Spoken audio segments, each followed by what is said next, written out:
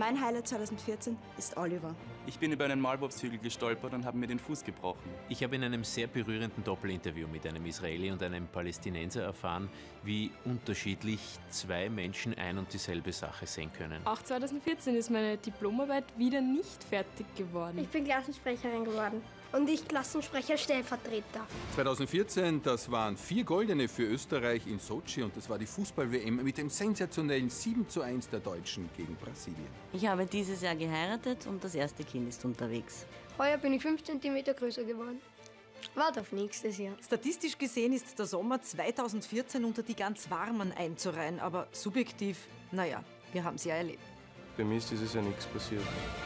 Ich habe zu meinem Geburtstag ein neues Zimmer bekommen. Heuer sind wir 25 Jahre zusammen. Also ich schaue lieber vor als zurück. 1. Jänner 2015, Neujahrskonzert. Ich hatte die erste Gipshand meines Lebens. In dem Jahr habe ich ganz gute Noten geschrieben. Heuer werde ich Urgroßvater. Einer der Höhepunkte des Jahres war mit Sicherheit, dass wir den Eurovision Song Contest gewonnen haben. Ich habe zum Rauchen aufgehört am 18. Juli. Ich war dieses Jahr zum ersten Mal am Wiener Oper. Ja, ich bin heuer Uroma geworden. 2014 habe ich wahnsinnig viel gefeiert. Ich habe meinem Kind ein Pony geschenkt. Ich habe mich dieses Jahr verliebt. Wir haben ein neues Haus gebaut. Ich habe endlich Radfahren Ich habe heuer geheiratet. Ich werde Tante. Ich habe zwar kotzen Ich bin befördert worden. Dieses Jahr 32 Jahre Geliebte großen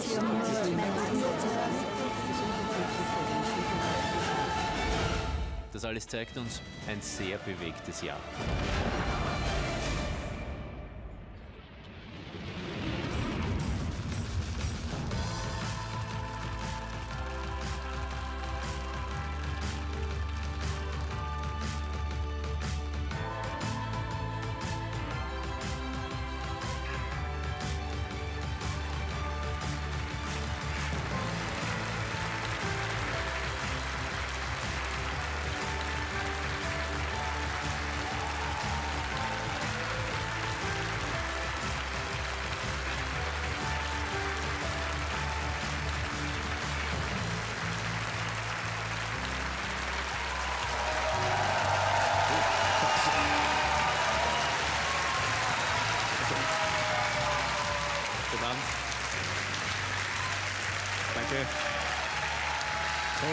Oh, danke.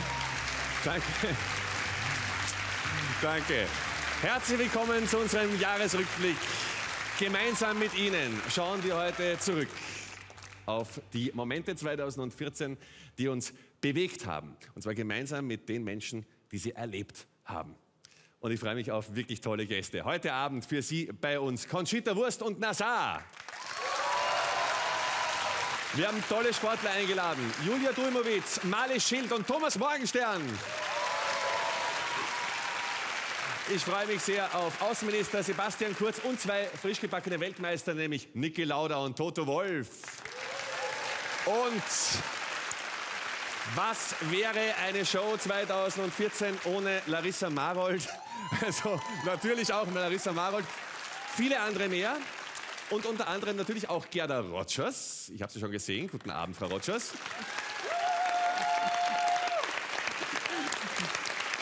Und Sie erinnern sich sicherlich, letztes Jahr bei unserem Jahresrückblick, da hat Gerda Rogers einen Blick auf das Jahr 2014 geworfen und in die Sterne. Jetzt schauen wir doch einmal, wie brav die Sterne waren und ob sie auch getan haben, was Frau Rogers prognostiziert hat.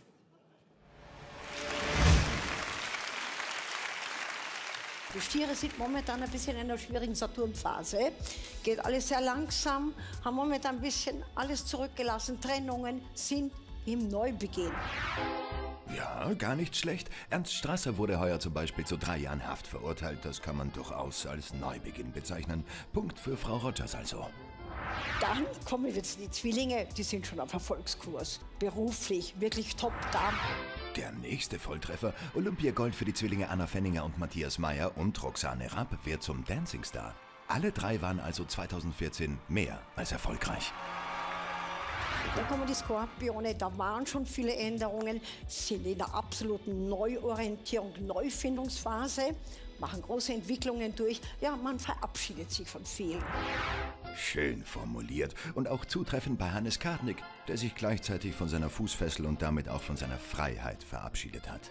Thomas Morgenstern verabschiedet sich vom Skizirkus Und Richard Lugner verabschiedet sich, heuer gewohnt medienwirksam, von seinem Dasein als Junggeselle. Äh, Steinböcke hatten es auch etwas sehr, sehr schwierig. Meine sehr geschätzten Damen und Herren, ich möchte Ihnen heute mitteilen, dass ich mit dem heutigen Tag von all meinen Ämtern in der Partei und in der Bundesregierung zurücktrete. Ja, kein leichtes Jahr also für die Steinböcke, also wie es scheint. Aber der Steinbock steht alles durch, dann kann nichts passieren. Na Gott sei Dank, wiewohl sich unsere Sorge in dem Fall ohnehin in Grenzen gehalten hat. Und wie sah es bei den Löwen heuer aus? Liebe Löwen, Geduld, drei Schritte zurück. Auch viele Trennungen momentan die Löwen. Und wieder richtig vorausgesagt, zumindest im Fall des Löwen Franz Welser Möst. Der trennte sich 2014 von der Wiener Staatsoper. Zum Schluss noch die Wassermänner bitte.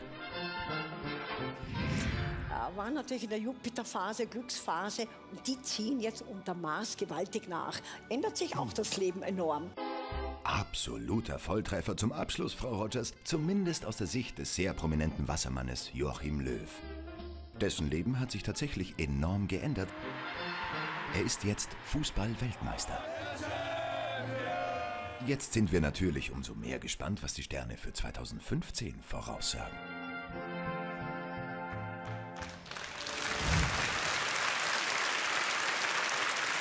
Gerda Rogers wird diesen Blick in das kommende Jahr natürlich noch heute Abend für uns werfen. Allerdings brauche ich Sie jetzt nicht unbedingt, um vorauszusehen, was als nächstes kommt. Wir bleiben bei Stars, bei Sternen äh, und was für welchen. Im Februar dieses Jahres haben Sie uns Österreicherinnen und Österreicher sehr stolz gemacht. Bitte begrüßen Sie mit mir sehr, sehr herzlich sozusagen frisch von den Olympischen oder einigermaßen frisch von den Olympischen Winterspielen in Sochi. Äh, mit ihrer olympischen Goldmedaille die Snowboarderin Julia Durmowitz, mit olympischen Silber Marlies Schild und mit Team Silber Thomas Morgenstern.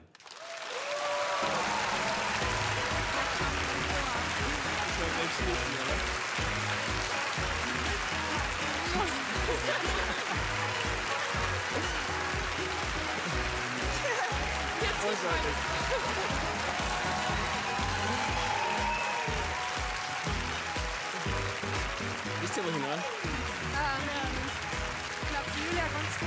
Bitte. Ich glaube, ich muss zuerst. Ich wollte euch helfen, aber. Sehr egal, wo wir sitzen, ne? Ja, sind so. Ah.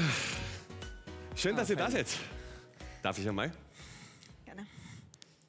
Möchtest du zittern? Mit Finger anhalten ist wahrscheinlich echt recht Ja, schwer. ja, nicht stark genug. Danke ganz herzlich fürs Kommen. Willkommen bei uns in der Show. Das Jahr 2014. Ihr teilt alle miteinander eine wunderschöne gemeinsame Erfahrung. Ihr wart alle in diesem so beliebten russischen Kurort Sochi. Jetzt würde ich gerne wissen, würdet ihr da privat vielleicht auch noch mal hinfahren oder, Ja, vielleicht, wenn weniger Staub ist, aber oder die Zimmer so als? Kurort würde ich es jetzt nicht sehen. Vielleicht um Erinnerungen aufleben zu lassen. Wobei, ich muss schon sagen, es war ähm, wieder allen Befürchtungen, die Spiele waren absolut okay. Ja. Ja. Ich bin auch mal recht zufrieden, muss ich sagen. Also von, vom optischen jetzt her. Aber die Spiele selber waren, waren echt cool und waren sicherlich eine der, der schönsten, was ich so jetzt erlebt habe. Bilder, an die wir uns noch lange erinnern werden.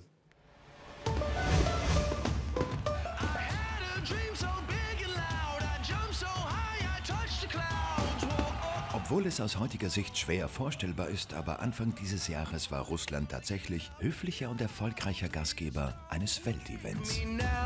Объявляю открытыми.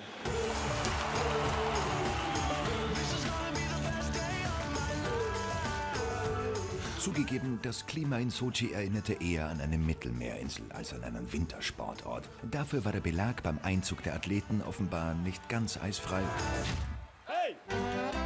Der fünfte olympische Ring bei der Eröffnungsfeier wollte nicht so richtig erstrahlen und offenbar dürfte dabei sein ist alles auch das Motto der russischen Bauarbeiter gewesen sein. Aber selbst die Betroffenen konnten sich schließlich über die kleinen Pannen amüsieren und sich voll und ganz auf das konzentrieren, wofür sie eigentlich nach Sochi gekommen waren. Medaillen holen. Das galt natürlich auch für Österreichs Athleten. Allen voran Dominik Landertinger, der schon am ersten Tag für eine Riesenüberraschung sorgte. Liga fehlerfrei! Ah, spät aber doch hat man. Das ist so schön. So kämpft ab. Was ist das wert? Das könnte. Silber im Biathlon-Sprint der Herren. Damit war vorab nicht zu rechnen und es sollte der Beginn einer regelrechten Silberwelle für Österreichs Athleten und Athletinnen werden.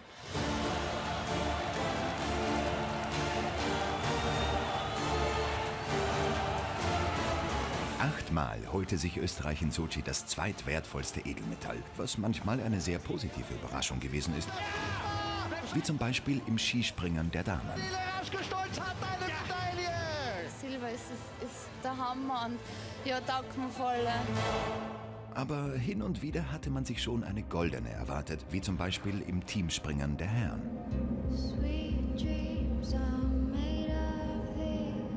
Dass diese silberne obendrein sogar die einzige Medaille der Adler bleiben würde, damit hätte wohl vorab niemand gerechnet. Wie groß ist die Enttäuschung jetzt nach diesem ersten Bewerb?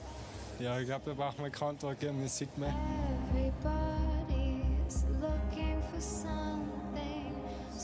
Das schlechte Abschneiden der Skispringer war eine der ganz großen Enttäuschungen von Sochi. Dass man mit selbigen in einem so großen Bewerb auch als Wintersportnation halt einfach rechnen muss, haben auch diese Spiele wieder gezeigt. Niki Hosp wurde in der Damenabfahrt Neunte und war damit trotzdem noch die beste Österreicherin. Und die Rodler Penz und Fischer verschenkten sogar eine bereits sicher geglaubte Medaille. Ja, dummer Fehler.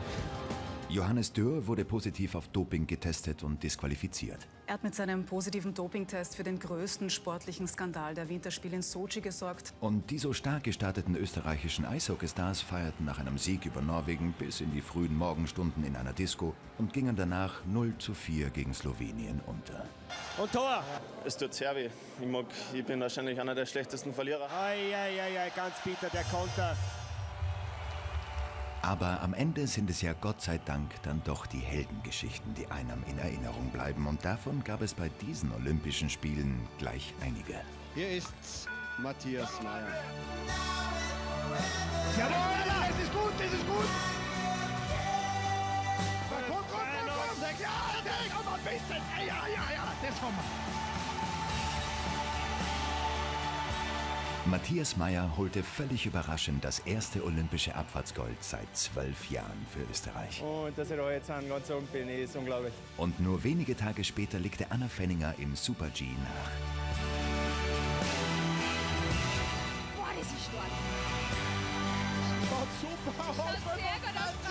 Und es sollte noch besser kommen. Am vorletzten Tag der 22. Olympischen Winterspiele holte Österreich sogar doppelt Gold und schrieb zweimal Sportgeschichte. Olympiasieger Mario Matt. Mario Matt holte Gold im Slalom und wurde damit zum ältesten alpinen Goldmedaillensieger aller Zeiten. Heute ist ein Riesenziel in Erfüllung gegangen. Und Julia Dulmowitz gewann im Snowboard-Parallelslalom das erste Mal in der Geschichte burgenländisches Olympiagold. Oh, ich kann es noch gar nicht glauben. Es ist wirklich. Oh, ich check's gerade gar nicht. Am Ende reiste Österreich mit sehr guten 17 Medaillen und Platz 9 im Medaillenspiegel nach Hause und wird somit in Zukunft gerne an diese Olympischen Winterspiele zurückdenken. Dass eine Medaille sich ausgeht, ist einfach ein Traum. Dankeschön meinen Eltern, Dankeschön meinen Freunden, Dankeschön meinen Fans und an die Trainer, die was immer unterstützt haben. Das heißt, du bist. Es ist echt unglaublich und ich weiß gar nicht, was ich sagen soll.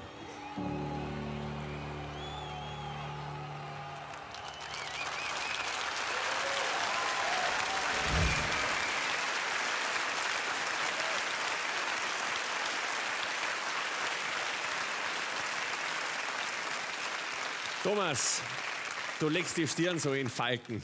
Wollen wir es nicht schön reden? Die Adler haben sich sicherlich mehr erwartet von diesen Spielen. Ist dabei sein wirklich alles? Äh, es kommt davon, für mich war heuer dabei sein wirklich alles, ja, muss ich sagen. Also von dem her natürlich schon. Äh, gesamt natürlich kann man immer mehr erreichen und wir waren auch gut aufgestellt am Anfang und hätten wir können mit ganz normal mit einer Goldmedaille, zum Beispiel Michi Heiböck, der war ja in genialer Form, der hat das Training dominiert auf der Normalchancen. Äh, es ist ihm halt auf, im Wettkampf halt noch nicht aufgegangen. Ich glaube, Vierter, Fünfter sind sie waren, die Jungs, der Dieter Thomas und der Heiböck Michi und äh, ja, Gregor ist nicht gar so gut gelaufen dort. und mir halt aufgrund gewisser Umstände halt natürlich auch nicht. Äh, ja, ich persönlich kann damit leben und bin stolz darauf, dass wir schlussendlich die, die Silbermedaille gewonnen haben und die ist für mich sehr viel wert.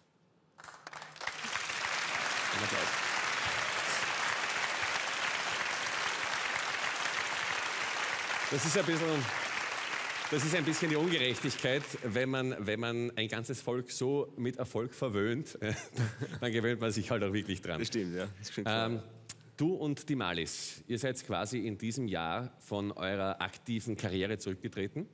Äh, Malis, ich habe mir eine Pensionistin immer irgendwie anders vorgestellt. Hast du den Pensionsschock schon verwunden? Ähm, ja, also der Schock ist eigentlich gar nicht gekommen. Ich habe mir die Entscheidung schon reiflich überlegt, weil es ist doch meine Leidenschaft, das, was ich die letzten 20 Jahre gemacht habe. Aber es hat für mich gut passt und passt nach wie vor gut und äh, ja, fühle mich wohl in meiner neuen oder in meinem neuen Leben. Du hast in Interviews immer wieder gesagt, jetzt ist einmal quasi die Familie dran. Du weißt natürlich, was jetzt kommt. Ja? äh, denn ich, ich frage mich, wie das funktionieren soll. Der Benny, ist ja noch nicht wirklich zurückgetreten vom aktiven Na. Sport. Äh, wie läuft das jetzt? Bist du jetzt zu Hause und sagst, äh, äh Benny, was ist los? Es ist 18 Uhr, du bist nicht mehr auf der Piste. Jetzt. Wie, wie, wie funktioniert das? Na, so funktioniert das nicht. Ähm, natürlich ist er viel unterwegs. Ihr wisst es besser, aber das aber es ist genau so, oder? Nein, das ist. Äh, was soll ich jetzt sagen drauf? Die Wahrheit. Also im Zweifelfall immer die Wahrheit. Ja, wenn er da ist, ist er da und wenn er unterwegs ist, dann mhm. passt das auch. Und äh, ich habe das jahrelang gemacht und äh, weiß, was es braucht. Aber ich freue mich natürlich, wenn er dann auch daheim ist. Wobei jetzt nur daheim sitzen und auf ihn warten tue ich eh auch nicht. Aber es, wir kommen dann schon immer ein, irgendwie zusammen. Eine eindeutige Botschaft. Eine eindeutige Botschaft. Was machst du dann so? Was ich so mache. Ja, bis er heimkommt. Jetzt sitze ich gerade bei dir, da. Das wird dir nicht gefallen. ähm, nein, es war jetzt eigentlich ähm, seit meinem Rücktritt äh, doch relativ viel los. Also ähm, ja, war doch auch einiges unterwegs. Äh, aber ich freue mich jetzt wahnsinnig einmal einfach eine Zeit zu haben, wo es nicht mehr so stressig ist und wo mhm. ich vor allem, was für mich gut ist, den äh, psychischen Druck, den man doch als, als Rennläufer hat, nicht mehr so zu haben. Und das genieße ich einmal und ich genieße es auch, äh, meine Ex-Kolleginnen und Kollegen zuzuschauen und Daumen zu drücken. Julia, du hast äh, etwas Unglaubliches geleistet. Du kommst ja aus äh, Österreichs Wintersportregion Nummer 1 im Burgenland. Sehr schon, also, ja. Absolut. Was ist da alles passiert? Ja, sehr vieles. Also es hat mal so begonnen, dass ein Riesenempfang war, wo ich heimgekommen bin und ja. dann hat es in meiner Ortschaft nur extra Hallenfest nur für mich gegeben, wo mir auch irgendwie jeder berühren wollte und Autogramme, ganz klar. Ähm, also deinen ja, Namen kannst du jetzt schreiben. Das, das funktioniert im, im Schlaf. Ja, ich habe ja. lang geübt, jetzt schaffe ich es eigentlich. da tun sie andere schwerer. Ich habe gehört, eine Straße ist nach dir benannt worden. Ja. Wo führen so. die hin? Es ist ein Laufweg, aber ich bin ja noch nie so. gerannt. ist das eh keine Sackgasse? Ich hoffe nicht, nein. Wann geht es bei dir weiter? Ja, ich fliege morgen in der Früh äh, nach Innsbruck und von dort weiter nach Solden. Und Weltcup-Start ist am 16. Mhm. Äh, den Rest weiß ich selbst noch nicht genau. Also das ist beim Snowboarden anscheinend nicht immer so fix, was passiert. Ähm, weil gestern haben wir E-Mails gelesen und haben wir gedacht, okay, wow, statt Anrennen, vier in fünf Tagen. Ah, okay, also ich fühle mich fit genug, dass ich den Weltcup vor den Weihnachten so durchziehe. Ich wünsche noch viel, viel Edelmetall Danke. und euch beiden alles, alles Gute für die Zukunft. Danke fürs Kommen. Dankeschön. Schönen Danke. Abend noch. Danke vielmals.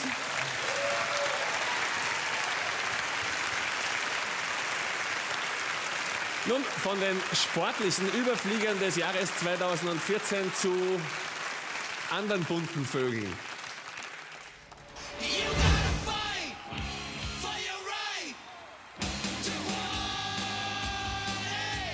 Was wäre das Jahr ohne die schönen bunten Nachrichten aus der Society? Wir werden es hoffentlich nie erfahren, denn es ist einfach viel zu interessant und spannend, was die Prominenz in Österreich und der ganzen Welt so treibt. Neben dem Liveball sorgte heuer übrigens die Oper für die größten Society-Schlagzeilen. Aber diesmal war nicht der Opernball schuld und ausnahmsweise auch nicht die Gäste des Baumeisters, sondern es war das Treiben auf und vor der Oper, das die Menschen faszinierte. Tom Cruise in Wien war eines der großen Society-Themen dieses Sommers.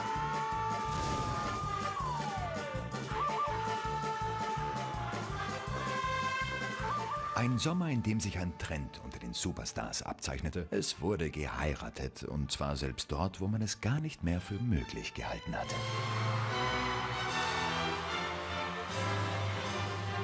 Auf die Meldung warten wir ja seit 150 Jahren in Gefühlt, Wahrheit. gefühlt. Gefühlt, ja, gefühlt. Sie haben in Ihrem Schloss in Frankreich geheiratet, in Südfrankreich. Da haben Sie ein ganz ein großes, riesiges Anwesen.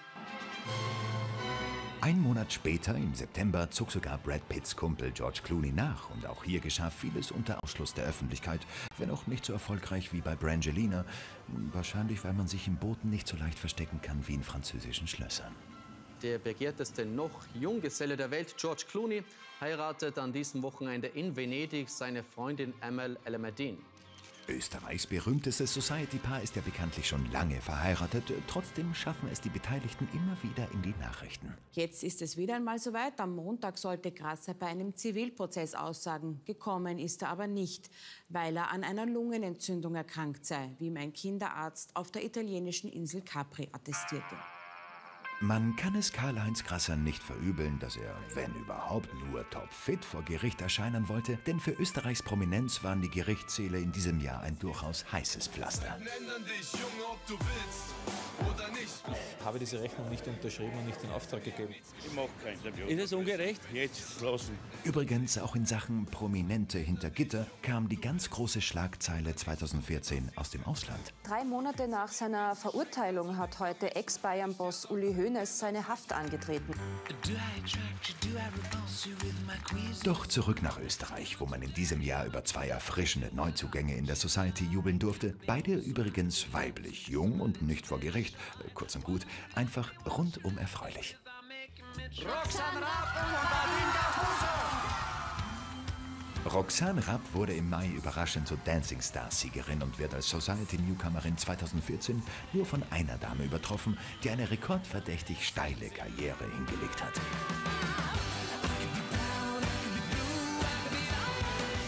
Larissa Marold begann das Jahr im Dschungel, holte sich kurz danach eine Romy ab und saß im Herbst in der Jury der größten Castingshow des Landes. Dabei blieb sie stets, wie sie sagen würde, unique. Hätte wahrscheinlich niemand gerechnet, am wenigsten ich, aber es ist mir eine Ehre und ich bin überwältigt. Überwältigt waren im heurigen Herbst auch diese beiden jungen Damen. Harphonie gewannen die vierte Staffel der großen Chance und damit 100.000 Euro.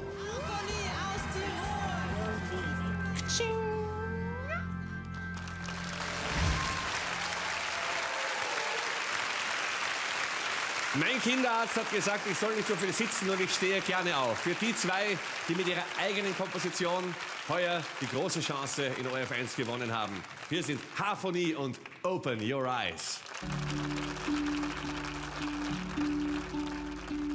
What does it mean to be best friends? Well, you say it's something that never ends, something that nobody can destroy. But what if I love you, boy?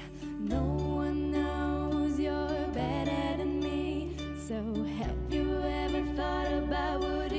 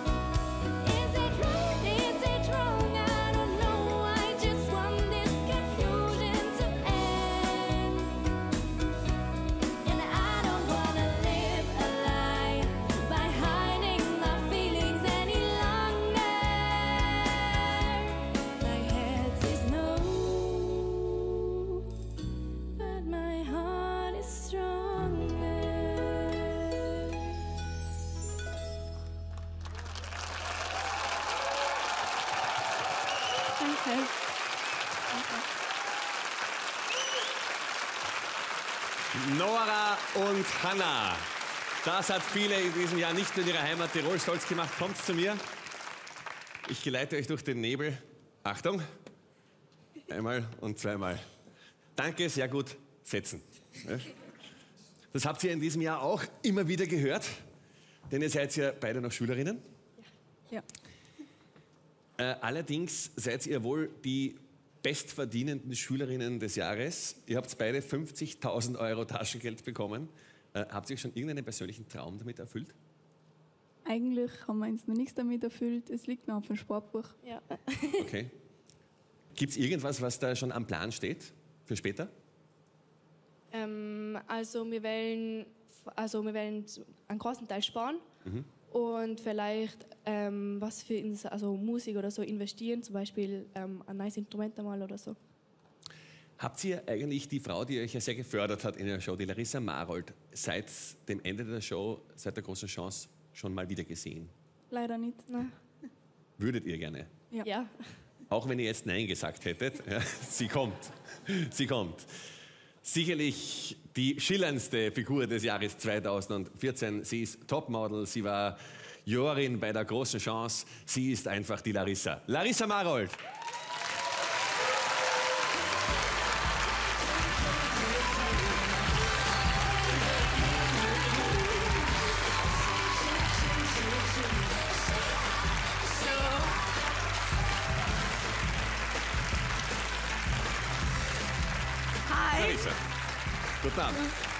Ich Grüß euch.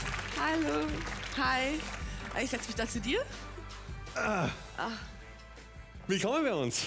Ja, wie geht's? Danke vielmals. Immer gut, wenn das Christkind schon ein bisschen früher kommt. Ja, danke. Wie ein Weihnachtsengel. Ich weiß. Ich habe sogar Löckchen da hinten extra, damit ich aussehe wie ein Engel. Du siehst aus wie ein Engel. Ich bin ja auch eine. Naja.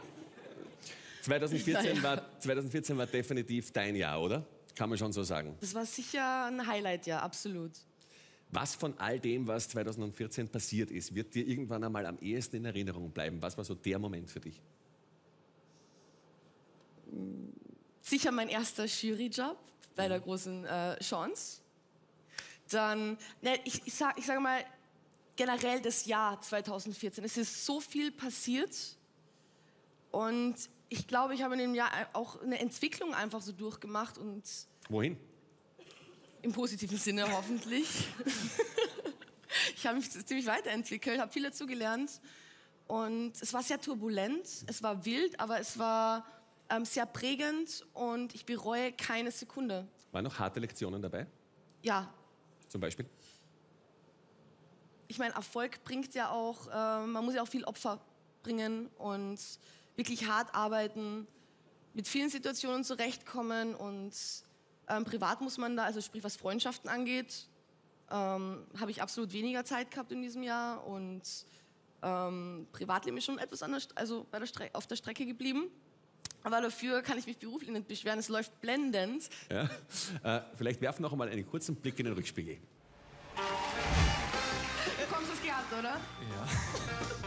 Ich lache, weil die Kärntner, die sind alle so eigen.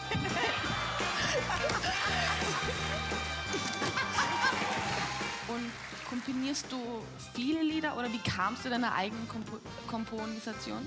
Kompos Nein, Komponisierung.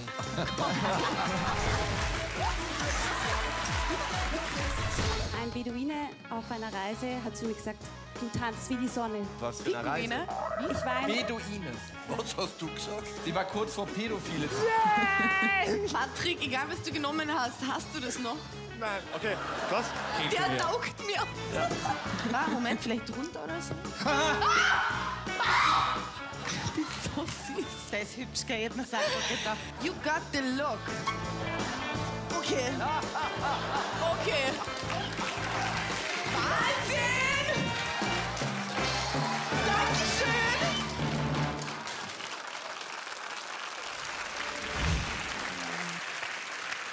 Und der Wahnsinn, er nimmt kein Ende. Aber ja, hoffentlich.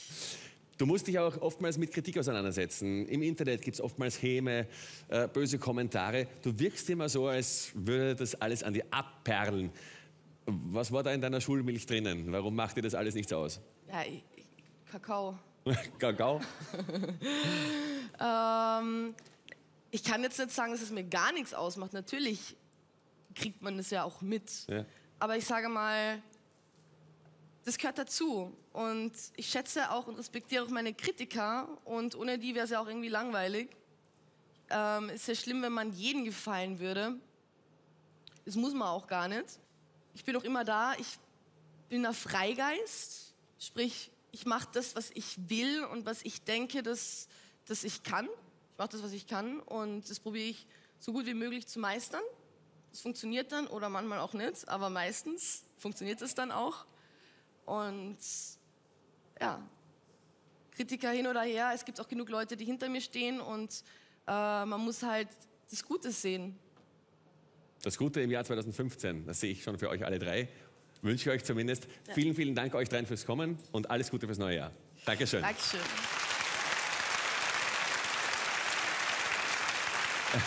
Ich, ich, äh, ich schaue deshalb so, weil meine Kollegin Sandra König steht da drüben und schaut komisch zu mir ja, rüber. wir spielen jetzt nämlich allein gegen Gradke. Das Spiel kennst du? Äh, Ja, äh, Ja, ja. vom Hörensagen. Quizfragen aus dem Jahr 2014 komm rüber. Ups, ich komme. Deine Gegnerin habe ich auch schon hier bei mir. Die sportlichste, die ich finden habe können, Julia Durmowitz. Ich erkläre euch kurz die Spielregeln. Das ist eigentlich ganz einfach. Ich stelle drei Fragen, wie immer, wie im Wecker. Wenn einer von euch antworten möchte, vor euch aufs Pult schlagen. Wer mehr weiß, gewinnt. Ja, ganz einfach. Sollte es nach drei Fragen unentschieden stehen, gibt es eine Entscheidungsfrage. Soweit so klar? Ja. Ja. Keine Angst, Julia. Hier kommt eure erste Frage.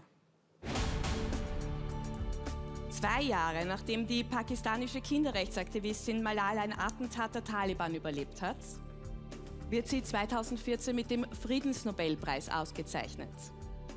Mit 17 Jahren ist sie der jüngste Mensch, der diese Auszeichnung erhalten hat. Malala sagt, sie hat während einer Unterrichtsstunde von ihrer Auszeichnung erfahren. Meine Frage lautet, in welchem Schulfach? Ich Julia? sage jetzt einfach mal Mathematik. Leider falsch. Robert, möchtest du antworten? Schau, du warst auch in der Schule. Manchmal. Turnen, Nein, leider. Chemie wäre es gewesen. Chemie. Chemie. Gut. Ich finde, ich war näher dran. Findest du? Das gilt leider nicht. Okay. Aber noch ist nichts verloren. Hier kommt eure zweite Frage. Wie könnte ich widersprechen?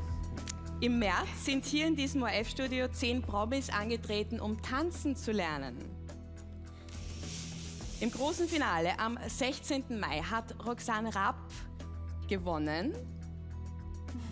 Die Frage lautet, gegen wen hat sie sich im letzten Tanz durchgesetzt? Also wer ist denn Zweiter geworden bei Dancing Stars? ähm. okay, die zwei schauen sehr ratlos. Nein? Robert?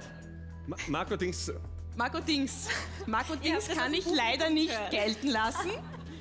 Damit hat die Julia die Möglichkeit, Marco Dings zu vervollständigen. das kann ja sogar ich jetzt schon hören. Du stehst näher am Publikum. Julia, möchtest du antworten? Weil sonst, gebe ich, sonst kriegt ihr beide eine Entscheidungsfrage. Oder? Ja? Entscheidungsfrage. Sonst ist es ja unfair. Also, So. wer war's jetzt? Jetzt kommt Marco Angelini wäre es gewesen. Okay. Und das ist die dritte und entscheidende Frage. Tolle da gibt's Runde jetzt. Achtung, da gibt es da gibt's jetzt Hinweise. Also da kann man schnell sein. Wer bin ich? Mein offizieller Geburtstag ist der 9. März 1959. Da habe ich in New York das Licht der Welt erblickt. Somit bin ich heuer 55 geworden. Ich habe drei Schwestern, Skipper, Stacy und Kelly. Ich hatte bis heute 150 Berufe. Ich bin 29,2 Zentimeter groß. Immer nicht? Okay, aber jetzt, auf. Nach über 43 Jahren habe ich mich am Valentinstag 2004 von meinem Freund Ken getrennt. Robert! Na, bitte nicht, dass ich jetzt diese Frage beantworten kann. Barbie. Das ist vollkommen richtig. Damit gewinnt der Robert 1 zu 0. ja. Gut, damit kommen wir zur Siegerehrung, wie sich das gehört. Julia, du bist das nicht gewohnt, aber du kriegst jetzt eine Silbermedaille. Danke sehr. Bitte. Dankeschön. Und Ja. Robert, ich Ich weiß, dein, dein größter Erfolg bisher war ein dritter Platz beim BMX-Rennen. Wo? Ich meine, dass das nicht allgemein bekannt ist. Der dritte Platz beim BMX-Rennen in Lamprechtshausen Mhm. 1984. Es wird jetzt getoppt von dieser Goldmedaille. Danke, ja. Gratuliere. Meine erste. Vielen, vielen Dank. Danke fürs Mitspielen, Julia. Es Danke. gibt. Äh, nein, nein, nein, nein, nein. Es gibt natürlich noch viele Fragen, die man zwei, über 2014 stellen kann. Wir so. sehen uns etwas später wieder. Gut, danke Sandra. Ja. Bitte. Gut. Ich habe ja eigentlich geglaubt, meine Damen und Herren, dass die Fragen hier nur einer stellt. Ja? Und das ist der Mann, der schon aus seiner Profession heraus Fragen stellt und dann die entsprechenden Antworten kassiert. Nicht immer professionelle. Ö3-Mikroman Tom Walek. Wir starten mit einer ganz leichten Frage. Im Jahr 2014 gibt es einen neuen 10-Euro-Schein. Bisschen veränderte Sicherheitsmerkmale, bisschen verändertes Design, ist aber nach wie vor natürlich 10 Euro wert. Wenn ich jetzt 1000 Zehner habe, wie viel sind es dann in Euro? Die Damen können uns helfen. Wir haben eine ganz leichte Frage für euch. Also können wir das später machen? Ich muss meine Haare noch machen, sonst geht's nicht. Kennen Sie das? Ich kenne es nicht. Nehmen wir an, Sie haben 1000 Zehner. Wie viel ist es dann in Euro? 1000 Zehner sind es dann 1000 Euro. 100.000. 100.000, ja. Wenn ich 1000 10-Euro-Scheine habe, habe ich 1000 Euro. Ja, weil? Oder? Können Sie das rechnen? Ähm, 1000 Zehner?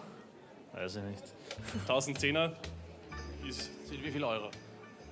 1000 Zehner. 1000 Zehner? 10.000. Ich habe aber schon einen Bodenstrom, das ist jetzt unfair.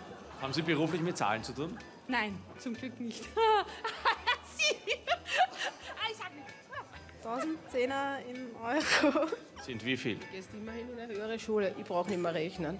Wissen Sie, was auf dem 10-Euro-Schein abgebildet ist? Das kann ich noch nicht sagen. So genau haben wir das noch nicht angeschaut. Nicht? Nein. Irgendein Triumphbogen? Wissen Sie noch, was am 10-Schilling-Schein oben war? Nein. Wissen Sie nicht mehr, weil? So lange her. So lange her. Was könnte da oben gewesen sein am 10-Schilling-Schein? Keine Ahnung. Bürgermeister. Der Bürgermeister von? Ja. Es gibt keinen 10-Schilling-Schein. 10-Schilling-Schein hat es nicht gegeben, war Münze, oder? Streber. Ach so, ja. Entschuldigung. Können Sie das rausschneiden, bitte? Das kommt sicher im Fernsehen, oder? Nein, es ist ran.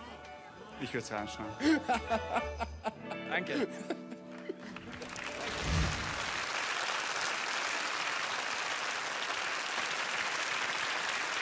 Sie glauben jetzt, das waren alles Menschen aus dem Hypo-Vorstand, aber ich sage Ihnen garantiert ganz normale Passanten.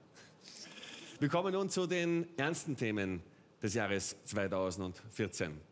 Es hat sehr vieles gegeben, was uns traurig gemacht hat oder betroffen zurückließ. Aber, und das ist die gute Nachricht, immer wenn irgendwo auf der Welt etwas passiert ist, da waren es Menschen aus Österreich, die sofort geholfen haben, wenn wo zu helfen war. Die Hochwasserkatastrophe in Österreich war eines der großen Themen 2013.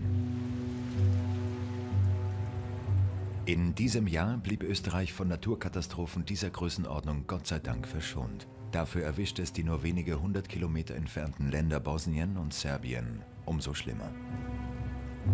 Heftiger Dauerregen hat in Bosnien und Serbien zu Rekordüberschwemmungen geführt.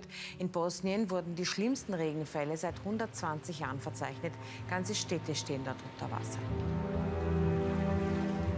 In Serbien hat die Regierung den Notstand ausgerufen, weil 100.000 Haushalte ohne Strom sind. Österreich stellte sofort eine Million Euro aus dem Auslandskatastrophenfonds zur Verfügung und schickte Helfer in die betroffenen Gebiete. Wir sind hier sehr rasch handlungsfähig und unsere Leute sind hier hoch motiviert. Das ist das eine. Und das andere natürlich, dass wir dementsprechende Geräte, die wir jahrelang schon angeschafft haben, für den Katastrophendienst in Niederösterreich bereithalten und auch diese gerne auch im Ausland einsetzen. Und das geschah in diesem Fall sogar unter besonders gefährlichen Bedingungen. Denn in Bosnien werden noch immer Hunderttausende Landminen aus der Zeit des Balkankrieges vermutet. Diese könnten durch das Hochwasser jetzt weitläufig verteilt worden sein. Angst ist immer dabei, aber wir sind da, dass wir den Leuten helfen hier unten. Für das bin ich, wir extra Urlaub genommen, bin runtergefahren und haben mein Bestes geben da unten. Vielleicht waren es die Erinnerungen an die eigene Hochwasserkatastrophe im letzten Jahr, die zahlreiche Österreicherinnen und Österreicher zum Helfen und vor allem auch zum Spenden bewegten. Allein über Nachbar Not kamen weit über 4 Millionen Euro an Spendengeldern für die Opfer der Flutkatastrophe zusammen. Danke hundertmal. Danke Österreich, danke alle Leuten in, in jeder Richtung, was ihr gibt. Danke.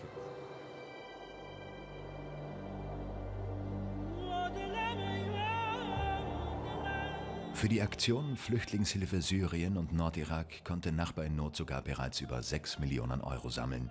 Und es wird noch mehr Geld benötigt, denn mittlerweile ist der Winter in den betroffenen Gebieten eingezogen. Man muss sich vorstellen, das sind Leute, die einfach wirklich äh, in, in, halbfertigen Gebäuden in Erbil wohnen. Äh, auf einem Teppich oder, oder mit ganz wenig Gegenständen. Viele Leute mussten ja nicht nur einmal, sondern mehrmals fliehen und hatten sozusagen dann nichts mehr, wie sie in Kurdistan angekommen sind. Und auch in Westafrika gab es in diesem Jahr Regionen, die auf Hilfe angewiesen waren und es bis heute sind. Wobei die Probleme, mit denen man hier zu kämpfen hat, die ganze Welt in Atem halten.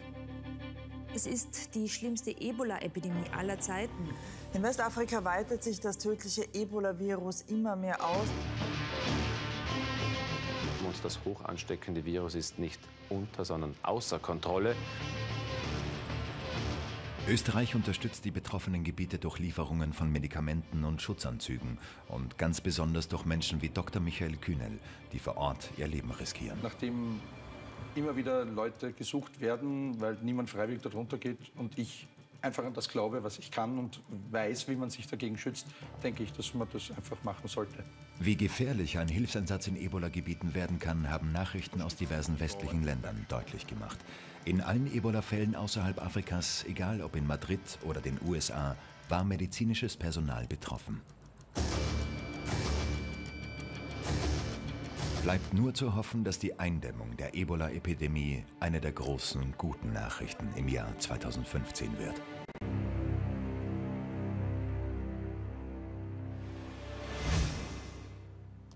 Wo geholfen werden muss, da wird geholfen. Das ist mehr als nur ein Satz, das schreiben sich viele Österreicherinnen und Österreicher auf ihre Fahnen. So auch mein heutiger Gast hier jetzt an dieser Stelle, Frau Dr. Silvia Wamser aus der Steiermark, eine der Ärzte ohne Grenzen. Danke fürs Kommen. Frau Doktor, wo waren Sie heuer im Einsatz? Ich war heuer in Sierra Leone im Einsatz. Ich bin Psychologin, das heißt, ich habe die psychologische Unterstützung der lokalen Mitarbeiter und auch der internationalen Mitarbeiter gemacht.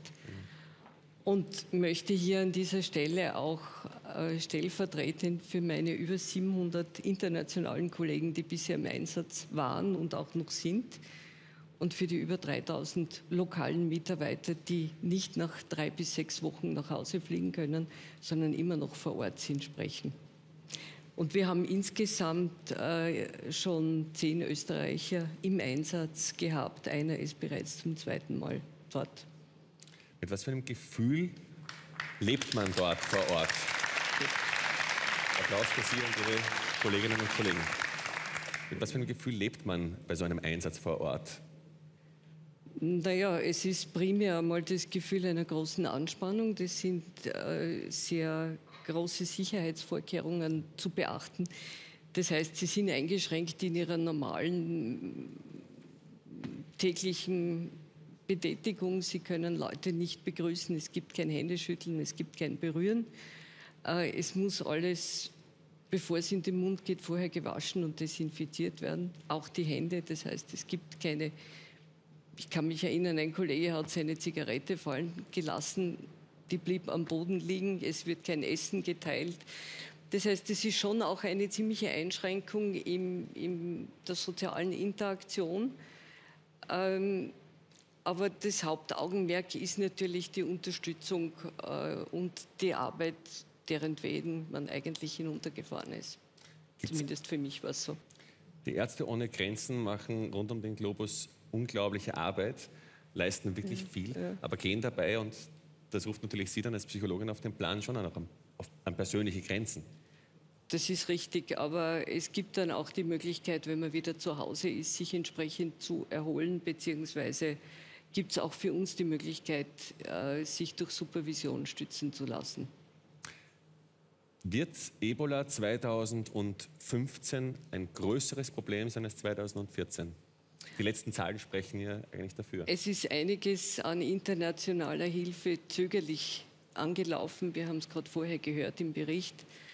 Äh, wenn nicht mehr passiert, das heißt, wenn nicht mehr geschultes Personal vor Ort ist, äh, es hilft nicht jetzt nur zu spenden oder Zentren einzurichten, die müssen auch betrieben werden. Das heißt, es müssen auch die Menschen da sein. Dann ähm, könnte es kritisch werden. Aber ich bin keine Hellseherin, da müsste man vielleicht eher die Frau Rogers fragen. Die könnte uns da vielleicht mehr dazu sagen. Äh, Ich denke, es ist wirklich wichtig, dass die zögerlichen Ansätze, die wir bis jetzt gesehen haben, und wir sprechen seit März davon, dass es ganz, ganz wichtig ist, äh, äh, entsprechend geschulte Fachkräfte äh, vor Ort zu haben, dann äh, möchte ich keine Vorhersage machen. Weil wir wissen, dass die Zahlen vor allem in Freetown in Sierra Leone ansteigen. Wir haben bis zu 600 Fällen, die pro Woche äh, äh, in die Behandlungszentren kommen. Und es ist dieses Auf und Ab. Das heißt, es ist wirklich wichtig, internationale Hilfe vor Ort im größeren Ausmaß zu bekommen. Jetzt für Sie nochmal zurück. Äh, Im heurigen Jahr nicht Nächstes. möglich. Ich danke Ihnen ganz, ganz herzlich fürs Kommen. Es war mir eine Ehre. Und alles, alles Gute für Sie und Ihre Kolleginnen und Kollegen. Dankeschön. Dankeschön. Okay.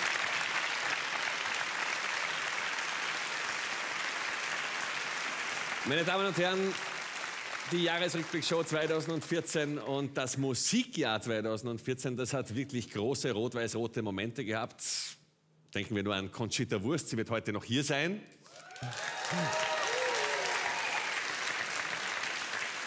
Zum anderen für den deutschsprachigen Rapper aus Österreich. Er hat ein wirklich gutes Jahr gehabt. Platz 1 in Österreich, Platz 2 in Deutschland. Und wir freuen uns nicht minder, dass er heute hier ist.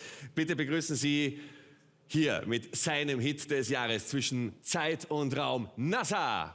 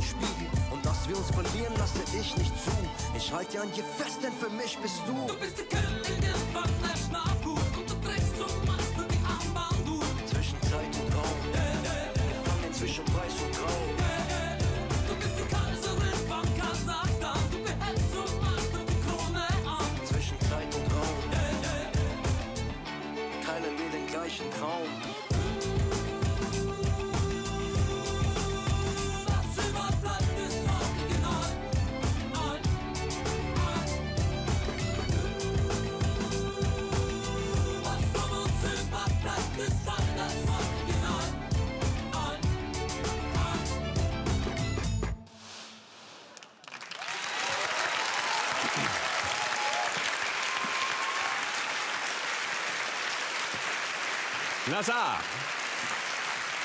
Willkommen. Hallo, hallo. Großer Hit des Jahres 2014. Was hat er, was hat er für dich verändert? Vorrangig? Ja, ich werde jetzt auf vielen Partys eingeladen von Menschen, die ich vorher nicht kannte, aber ansonsten ist alles gleich. Gute Partys, hoffe ich. Ja, geht so. Geht so. Für alle, die es nicht wissen, du hast einen weiten Weg hinter dir, ein, ein, paar, ein paar Lebensstationen. Begonnen hat alles im Flüchtlingslager in Dreiskirchen. Du bist im Alter von vier Jahren mit deinem Bruder und deiner Mutter dort angekommen. Hast du an diese Zeit noch Erinnerung? Also weniger eher. Also es war eine harte Zeit auf jeden Fall. Äh, Meine Mutter erzählt mir oft davon. Für sie war es natürlich noch viel härter und schlimmer. Aber ich glaube, wir haben das Beste draus gemacht und sind froh, jetzt hier zu sein. Deine Kindheit dann in Wien, im 10. Wiener Gemeindebezirk. Ein paar Schlagworte. Du, ich wohne noch immer da. Ich fühle Ja. mich da sehr wohl bei meinem Mundel und Kanaken. Also ist, für mich ist es super da. Und jetzt? Zweifacher Amadeus-Preisträger, vergoldetes Album, Riesenerfolg in Österreich, Riesenerfolg in Deutschland. Würdest du sagen, du bist zielstrebig diesen einen Weg gegangen und es konnte gar kein anderer Weg werden? Oder hättest du auch woanders abbiegen können? Naja, ich meine, Laufstegmodel wäre ich jetzt keins geworden. Da fehlen mir noch drei, vier Zentimeter. Deswegen hat es dann die Musik gemacht und Gott sei Dank hat es geklappt. Also ich bin schon sehr zufrieden. Dein Applaus und wie das geklappt hat. Vielen Dank, Nassar. Dankeschön. 2014, meine Damen und Herren, war ein Jahr, das viele von uns unsicherer gemacht hat. Äh, Schlagworte wie Epidemien, Kriege, Terror, auch die Angst davor, dass der Kalte Krieg neu entbrennen könnte. Darüber kann mein nächster Gast wirklich viel erzählen, denn es ist quasi sein Job. Er vertritt Österreich im Ausland. Meine Damen und Herren, der Bundesminister für Europa, Integration und Äußeres, Sebastian Kurz. Hallo,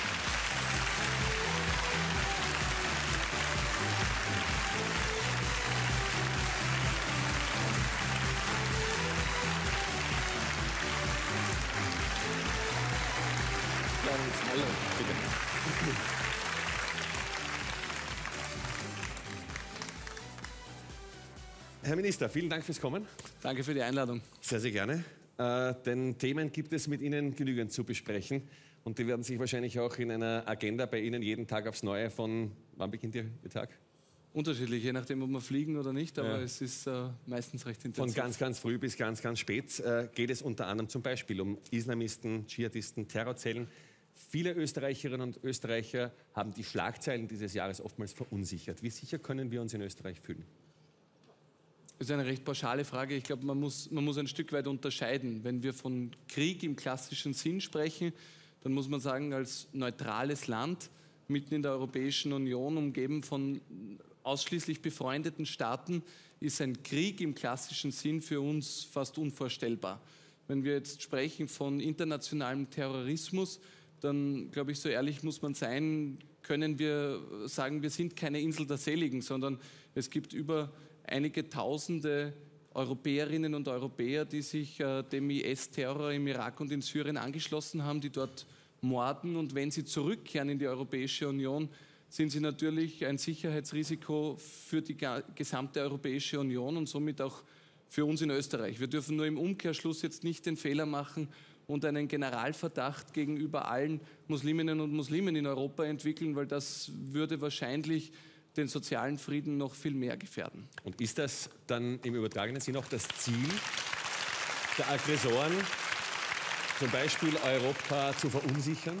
Naja, nicht nur zu verunsichern, sondern auch, auch unmittelbar zu bedrohen. Also diese Terroristen sprechen vom individuellen Dschihad, also von der Idee, dass jeder Einzelne ähm, als Terrorist, unabhängig davon, wo er ist, äh, morden kann und äh, im Sinne dieser Terroristen agieren kann. Und insofern, auch wenn der Irak und Syrien weit weg wirken, ist das natürlich eine Bedrohung, die uns hier unmittelbar trifft. Und insofern ist es meiner Meinung nach ganz entscheidend, dass die Polizei so konsequent agiert, wie sie das tut, bei all jenen, die sich etwas zu Schulden kommen lassen. Und auf der anderen Seite, dass wir alle zusammenhelfen, im Präventionsbereich noch besser zu werden, damit nicht noch mehr junge Menschen aus Europa auch von diesen Terroristen verführt und radikalisiert werden.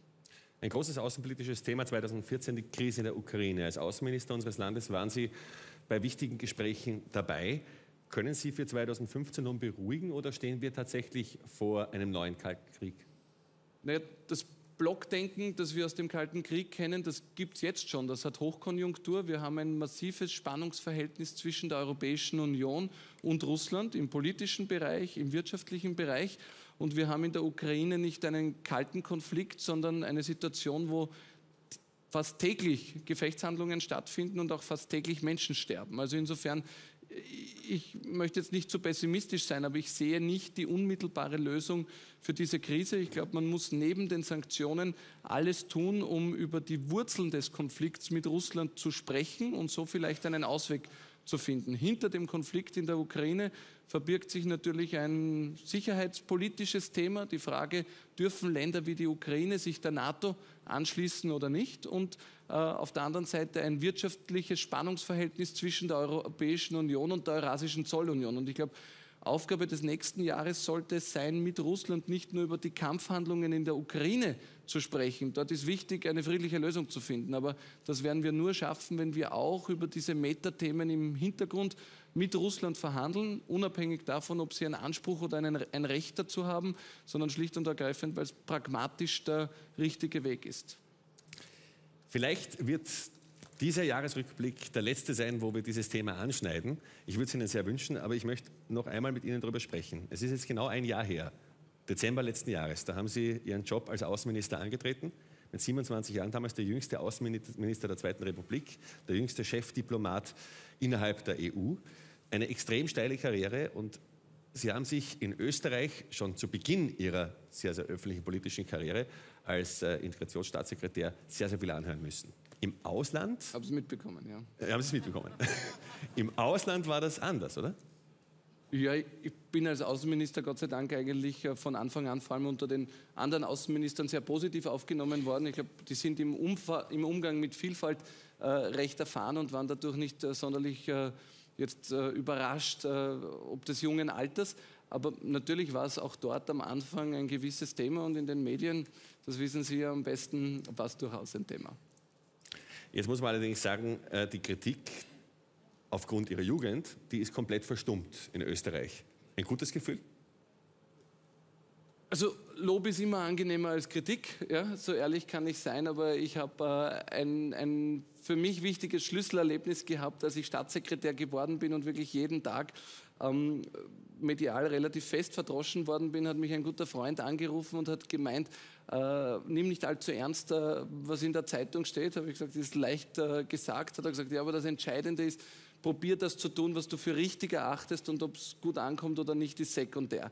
Als es dann ein halbes Jahr später wesentlich besser gelaufen ist, hat er mich wieder angerufen und hat äh, sehr ermahnend gesagt, das, was ich damals gesagt habe, gilt heute nach wie vor genauso daran versuche ich mich ein Stück weit zu halten. Ich probiere das zu machen, was ich für richtig erachte.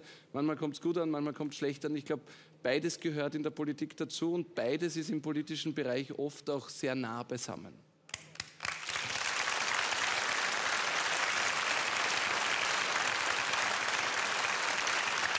Eine, eine Frage nur. Am 24. Dezember hat doch auch ein Spitzenpolitiker frei, oder? Ja, ich werde äh, aller Voraussicht nach kurz bei Licht ins Dunkel dabei sein, aber danach äh, ist natürlich ein familiärer Abend. Ja. Da wünsche ich ein schönes Fest und alles Gute fürs Jahr 2015. Außenminister Sebastian Kurz. Vielen, Vielen Dank, Dank das wünsche ich auch.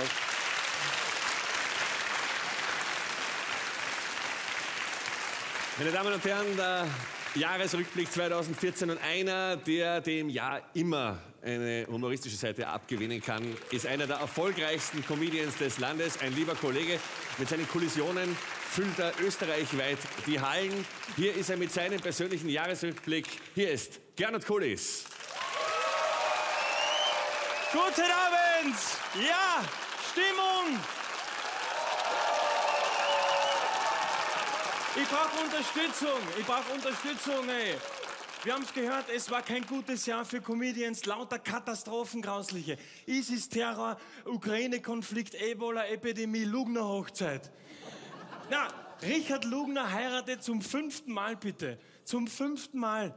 Damit ist die Wahrscheinlichkeit für Frauen im deutschsprachigen Raum höher, von Richard Lugner geheiratet zu werden, als an Ebola zu erkranken.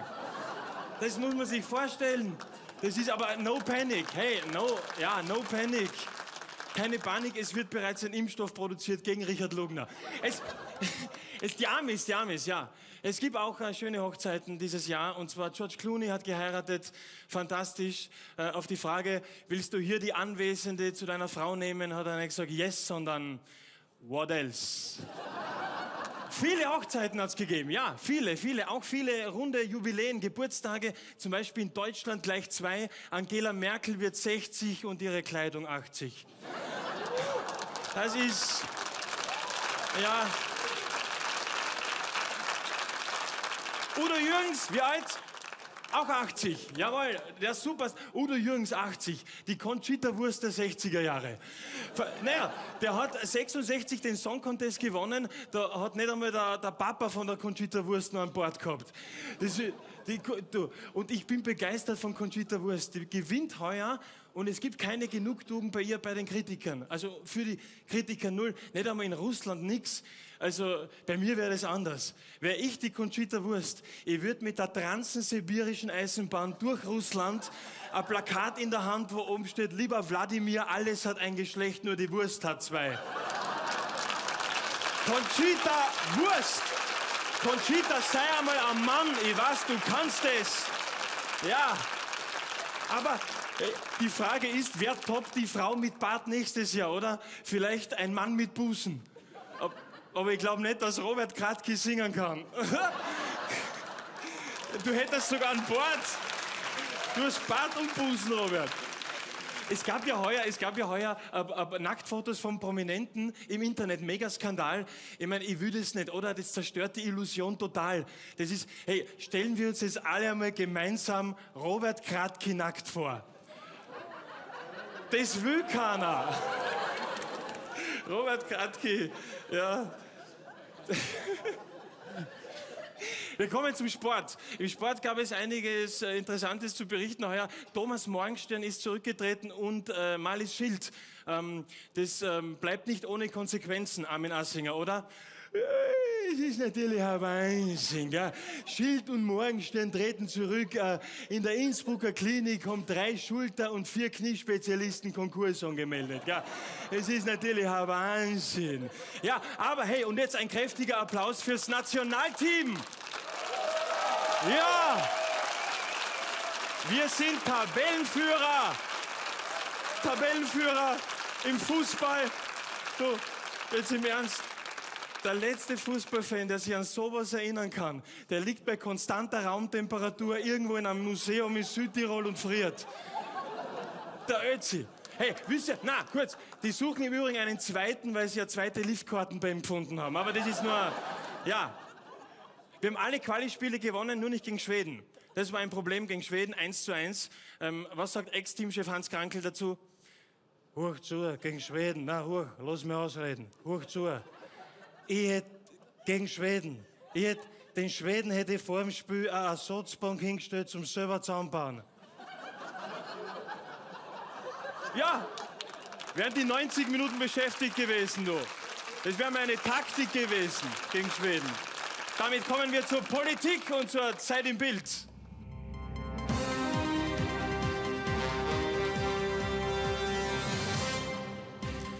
Guten Abend bei der Zeit im Bild, es begrüßt Sie Tarek Leitner. Hier sind die Meldungen des Jahres. Er ist ja hier, hallo. Das ist... Passt es so? Ja, Platz nehmen wieder. Immer nur sitzen. Erkennt man sich da wieder? Tarek Leitner. Christa Kummer ist auch da, zu Ihnen komme ich noch später. Hier sind die Meldungen des Jahres. Ähm, Innenpolitik. Ex-Finanzminister Karl-Heinz Swarovski, äh, pardon, äh, Grasser hat heuer sein großzügiges Penthouse in Wien verkauft und zwar um 17 Millionen Euro, bleiben Grasser nach Abzug der Steuer 18 über. Wie wie erst heute bekannt wurde, kam es beim Peter Westenthaler Prozess im November vor einem Wiener Gericht zu einer peinlichen Auseinandersetzung.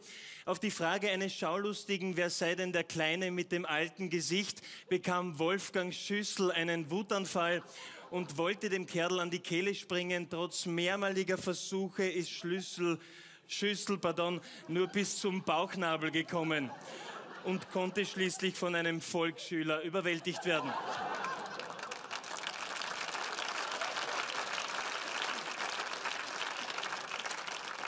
Verteidigungsminister Gerald Klug darf aufatmen. Auf die heuer entdeckten Produktionsfehler der Eurofighter hat jetzt endlich der Hersteller reagiert und wird alle Eurofighter gratis nachrüsten und zwar mit Warnweste und Bannendreieck. Nach dem Rücktritt von Laura Rudasch im März hat die SPÖ adäquaten Ersatz gesucht, aber leider hat Dschungelcamp-Kandidatin Larissa Marold abgesagt. Marold meinte wörtlich vom Dschungelcamp in die Politik, Kakerlaken fressen ist okay, aber die Kraut schlucken sicher nicht.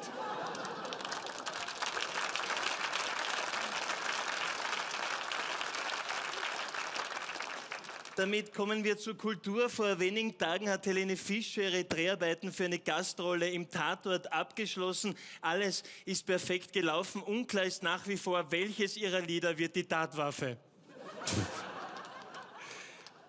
Das waren die Meldungen. Wir verabschieden uns jetzt wie gewohnt vom Zuseher, der via Dreisat mit dabei gewesen ist. Sie versäumen die Schlusspointe. Wie soeben bekannt wurde, hat die FPÖ einen eigenen sogenannten HC Strache Adventkalender rausgebracht.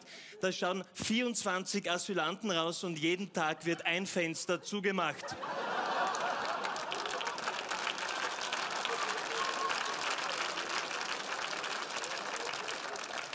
Damit kommen wir noch zum Wetter. Äh, Christa Kummer sagt uns jetzt noch, wie das Wetter morgen wird. Wie das Wetter morgen wird. Danke, Christa Kummer, die uns soeben gesagt hat, wie das Wetter morgen wird. Damit zurück zu Robert Kratki. Ja, Tarek Leitner. Gernot Tullis. Tarek, 2014, gutes Jahr gehabt, privat? Ja, schon auch sehr berührend. Ja. So wie es den vielen Österreicherinnen und Österreichern am Beginn der Show gegangen ist, wie wir gesehen haben. Das sind ja die eigentlichen Dinge, ne, die das, das Jahr ausmacht. Nicht immer nur die ganz großen Sachen, die in der Welt passieren. Da sind viele Urgroßmütter, Urgroßväter geworden, habe ich gesehen. Das ist bei mir nicht der Fall. Das hätte mich jetzt auch schwer gewundert. Aber es war wunderschön, dich einmal so herzhaft lachen zu sehen, denn normalerweise kennen Sie Tarek Leitner eher mit ernstem Gesicht aus der Zeit im Bild. Und das hat im Jahr 2014 auch wieder gute Gründe gehabt. Leider.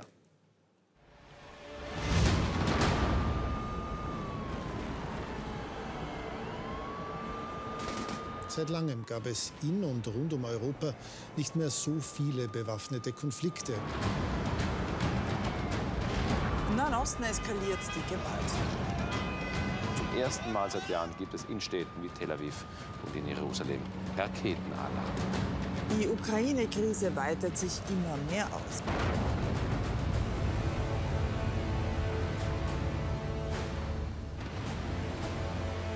Das Jahr 2014 wird leider auch als ein Rekordjahr in Sachen bewaffneter Konflikte in die Geschichte eingehen. Gaza-Offensive, Bürgerkriege in der Ukraine und in Syrien und dazu noch diverse bewaffnete Konflikte von Indonesien über Nigeria bis Mexiko. Die Krisenherde dieser Welt scheinen tatsächlich bald unzählig viele zu sein. Und immer wenn man denkt, es wäre schon alles an Grausamkeiten da gewesen, bringt einer dieser Krisenherde eine neue Dimension der Abscheulichkeit hervor. Es ist professionell produziert wie ein Werbeclip und zeigt, wie ein vermummter Mann einem anderen Mann, der vor ihm kniet, den Kopf abschneidet. Das FBI und die US-Regierung bestätigen inzwischen, dass das Video echt ist und der Mann, der da enthauptet wird, Amerikaner ist. Er hat auch einen Namen, James Foley, ein Fotoreporter. Was diese Gruppe so professionell macht, dass sie zwar von einem mittelalterlichen Kalifat träumt, aber gleichzeitig die modernste westliche Technologie benutzt, um ihre Propaganda weltweit zu verbreiten. Das extrem brutale Vorgehen der IS veranlasste die Welt schließlich zum Handeln, allerdings nicht so entschlossen, wie das notwendig gewesen wäre.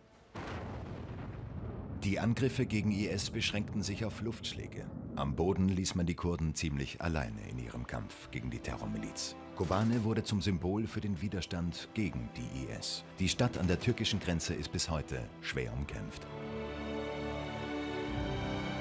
Eine Sache haben alle Kriege seit jeher gemeinsam. Leidtragende sind vor allem die Zivilisten, darunter auch Frauen und Kinder, die eigentlich nichts mit dem Konflikt zu tun haben sollten. Der Fachausdruck dafür heißt Kollateralschäden und welch unvorstellbares Leid sich hinter diesem lapidaren Ausdruck verbergen kann, wurde der Welt heuer am 17. Juli einmal mehr bewusst. Eine Boden-Luftrakete soll die Boeing der Malaysian Airlines über der Ostukraine getroffen haben. 298 Menschen, darunter 80 Kinder, sterben. Aller Wahrscheinlichkeit nach, weil pro-russische Separatisten die Boeing 777 mit einem Militärflugzeug verwechselt haben. So richtig beweisen kann das bis heute allerdings niemand. Die Tragödie ist längst zum internationalen Politikum geworden. Eins wissen wir schon jetzt. Die Gewalt, die stattfindet, wird zu einem großen Teil durch russische Unterstützung erleichtert. In large part uh, because of Russian support. Für Malaysia Air war der Absturz von MH17 zu diesem Zeitpunkt sogar bereits die zweite große Katastrophe in diesem Jahr. Denn schon wenige Monate zuvor musste die Airline das Verschwinden einer Maschine vermelden. Zwar waren hier nach heutigen Erkenntnissen weder Krieg noch Terror verantwortlich, dafür gilt das Verschwinden von MH370 am 8. März bis heute als eines der größten Rätsel der Luftfahrtgeschichte. Auch eineinhalb Tage nach dem plötzlichen Verschwinden von Flug MH370 über dem südchinesischen Meer gibt es noch immer keine Spur. Und daran sollte sich auch bis zum heutigen Tag nichts ändern. Das in Frage kommende Absturzgebiet war und ist einfach zu groß. Und die Signale der Blackbox sind mittlerweile längst verstummt.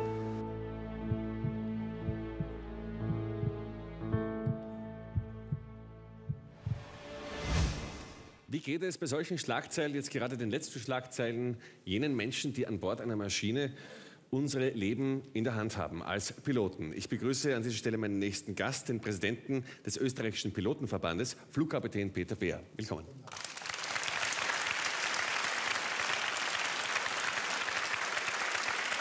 Besonders viele Fragezeichen gibt es rund um den Flug 370 der Malaysia Airlines.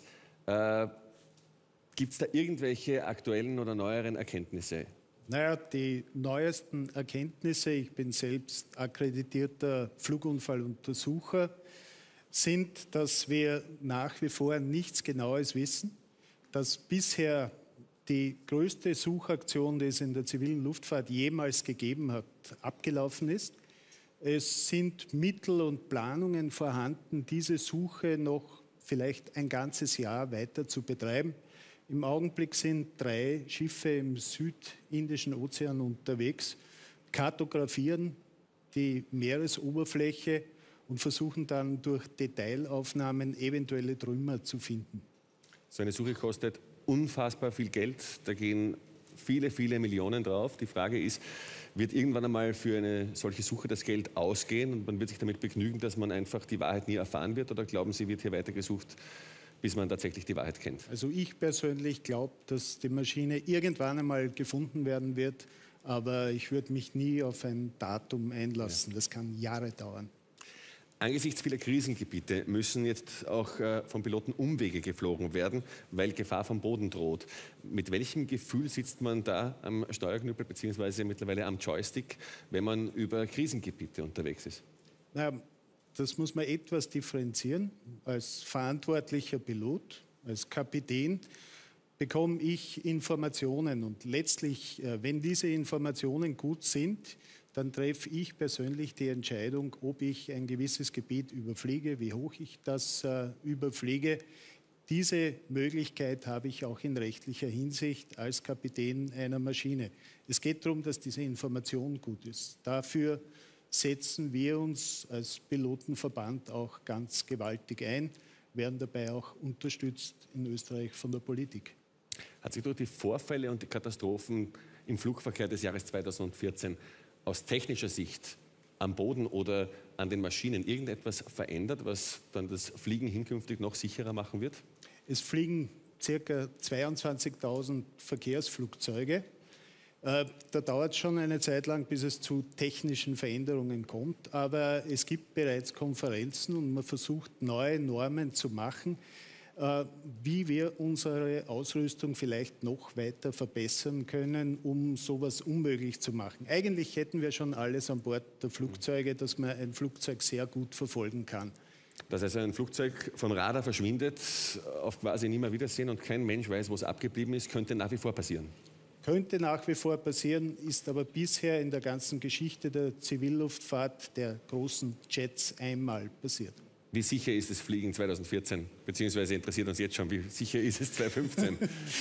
Eigentlich fast ein Paradox, äh, obwohl hier diese schrecklichen Bilder äh, gerade gelaufen sind, ist wahrscheinlich das Jahr 2014 ein sehr gutes für die Flugsicherheit. Es gibt vier Unfälle westlicher Verkehrsmaschinen. Das scheint sich sehr gut zu entwickeln. Etwa 3,3 Milliarden Menschen werden sicher an ihr Ziel gekommen sein, schätzt die Weltvereinigung der Fluglinien. Und wenn die Menschen sicher landen, dann gibt es ja eine schöne Tradition, sehr, sehr oft, da wird geklatscht. Jetzt sagen Sie es mal ehrlich. Hören Sie das als Piloten durch die Sicherheitstüre überhaupt, ob Nein, durch die schusssichere Türe hören wir leider nichts, aber die Kabinencrew sagt es uns manchmal. Ah, ich verstehe, okay. Äh, Und ist es eigentlich der richtige Moment, dann zu klatschen, wenn das Flugzeug bei der Landung den Boden berührt? Weil da ist man immer noch mit 250 Stundenkilometern oder so unterwegs. Es, es könnte ja sein, dass es nicht rechtzeitig bremst. Ich würde erst Ah. klatschen, wenn man so auf Schrittgeschwindigkeit ist. Ich verstehe, gut. Zum ersten Mal in Ihrer Karriere äh, bekommen Sie jetzt ein Klatschen fürs Abheben. Ja, und Sie werden es hören. Ja. Vielen, vielen Dank, Danke. Herr Kapitän. Dankeschön. Und Robert, Robert, du bekommst jetzt zum ersten und zum einzigen Mal eine Landeerlaubnis bei mir. Dar darauf warte ich seit Jahren. Ich weiß. Also jetzt komm, wir spielen noch eine Runde allein gut. gegen Radke.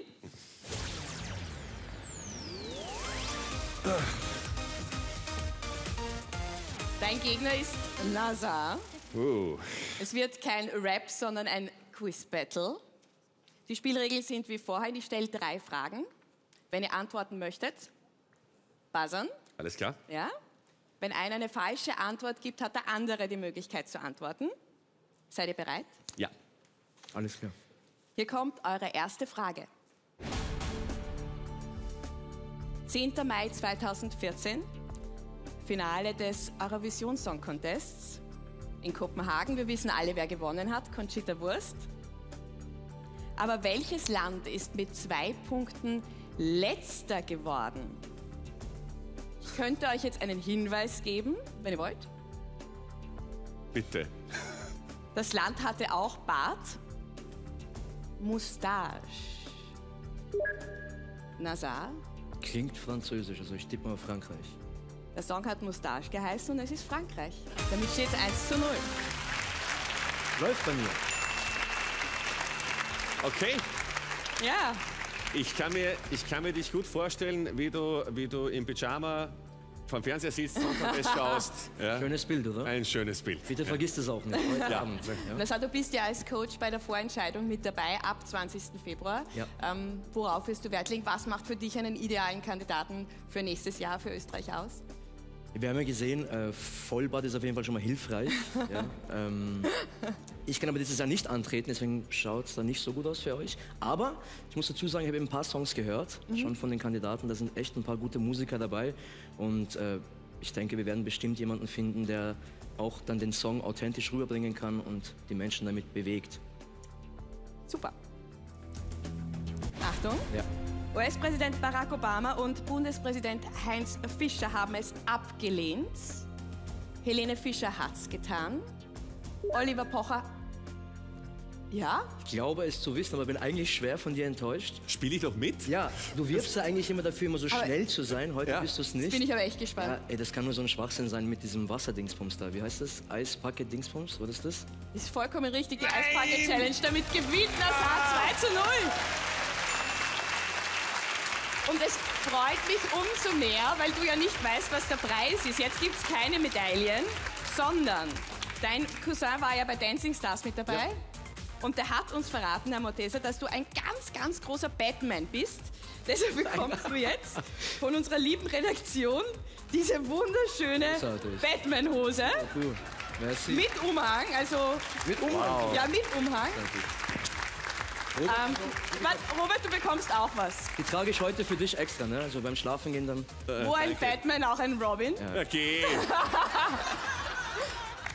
Gratuliere. Steht das sicher ganz hervorragend. Großartig. Ein Team.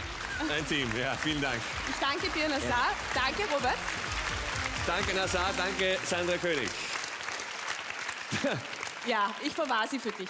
Vielen Dank, vielen Dank. Meine Damen und Herren, Nazar geht, aber da kommen noch viele andere. Conchita Wurst, Andreas Burani, alle schon im Anflug hierher. Aber vorher erinnern wir uns noch an andere Persönlichkeiten. Ein Jahr wird immer geprägt von Menschen. Noch viel mehr als von Ereignissen. Von Menschen auf der einen Seite, die geboren werden. Und das, was ein Jahr oftmals erinnerungswürdig macht, sind auch jene Menschen, von denen wir uns für immer verabschieden müssen.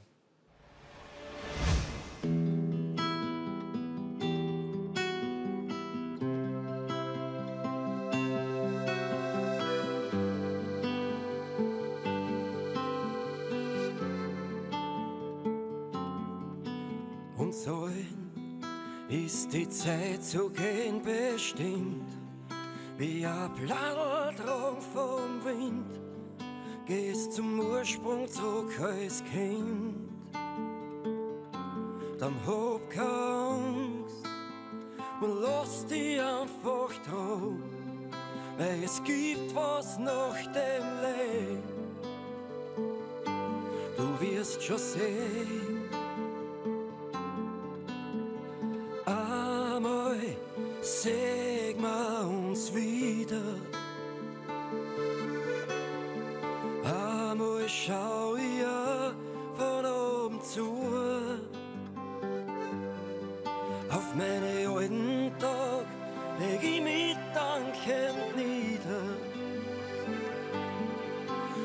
Für alle Zeiten meine Augen zu.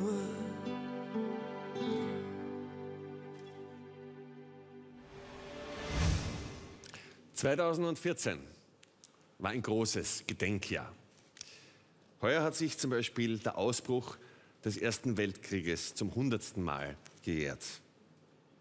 Im Sommer 1914 ist mitten in Europa ein Krieg ausgebrochen, der 40 Länder ins Chaos stürzt und eine neue Weltordnung hervorbringt.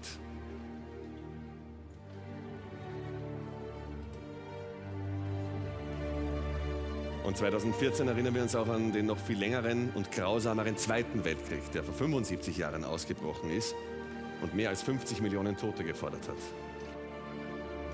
Und das dritte große Thema in diesem Gedenkjahr 2014 war der Fall der Berliner Mauer.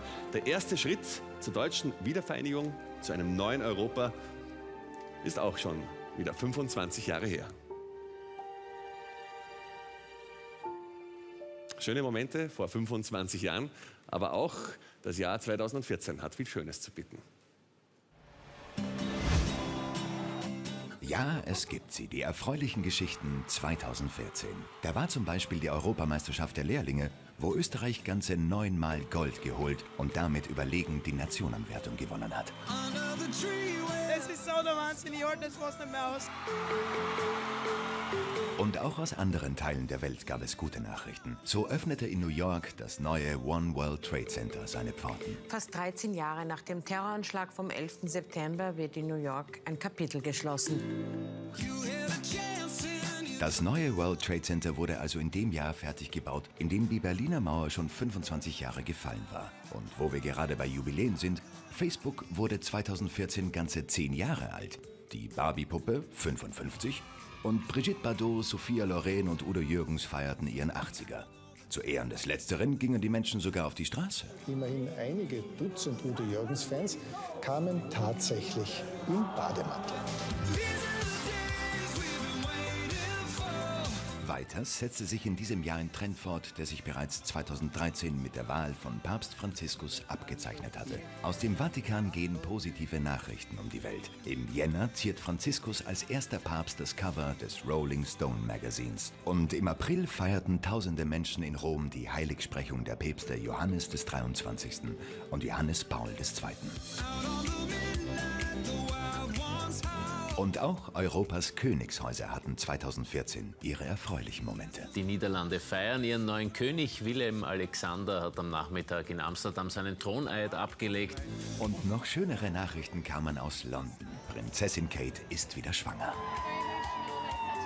Und ohne die Fruchtbarkeit der Windsors in Frage stellen zu wollen, kann man wohl jetzt schon sagen, dass der königliche Nachwuchs im Umfang kleiner ausfallen wird als jener, der aus dem Bezirk Lilienfeld für Schlagzeilen gesorgt hat. Also Tigerfünflinge in Weiß zu bekommen, ist extrem selten.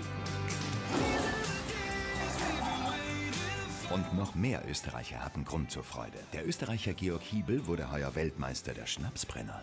Das Größte, was wir bis jetzt erreicht haben. Und der Mathematiker Martin Heirer holte sich sogar die renommierte Fields-Medaille. Dieser Preis wird nur alle vier Jahre an Mathematiker unter 40 verliehen. Er gilt als der Nobelpreis der Mathematik und bis heute hat ihn noch kein Österreicher bekommen. Einen Fields- oder Nobelpreis wird Franz Müllner wohl nie bekommen. Gut, braucht er auch nicht. Denn der Mann beweist wieder einmal, dass er der stärkste Österreicher überhaupt ist. Das Schwierigste, was ich je in meinem Leben 140 Tonnen wiegt das Flugzeug, das Müllner da bewegt hat. Die Raumsonde Rosetta kann der Mann wahrscheinlich mit einer Hand hochheben. Die wiegt nämlich lächerliche drei Tonnen und hat im November dieses Jahres nach zehn Jahren ihr Ziel erreicht. Den Kometen Jury. Zwar gab es die ein oder andere Panne bei der Landung, aber Bilder und Geräusche erreichten dennoch die Erde.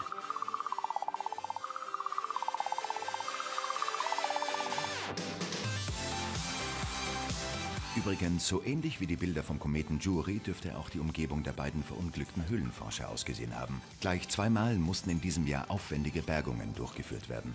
Beide gingen aber gut aus. Genau wie die Aktion, die wir uns für den Schluss unserer schönen Geschichten 2014 aufgehoben haben. Google-Manager Alan Eustace bricht den einst so groß zelebrierten Rekord von Felix Baumgartner relativ still und heimlich. Mitbekommen tut es trotzdem jeder. Ein 57-jähriger kann's und ich behaupte, 99 Prozent der Österreicherinnen und Österreicher, die zu Hause jetzt sich das, den Fernsehbericht anschauen, können in zwei Wochen sind sie genauso fit, um das zu machen. Also mal sehen, vielleicht wird ja Abspringen aus mehreren tausend Metern Höhe der Massentrend 2015. Wenigstens hat man es dann im Spezialanzug schön warm, was beim großen Internettrend 2014 definitiv nicht der Fall gewesen ist.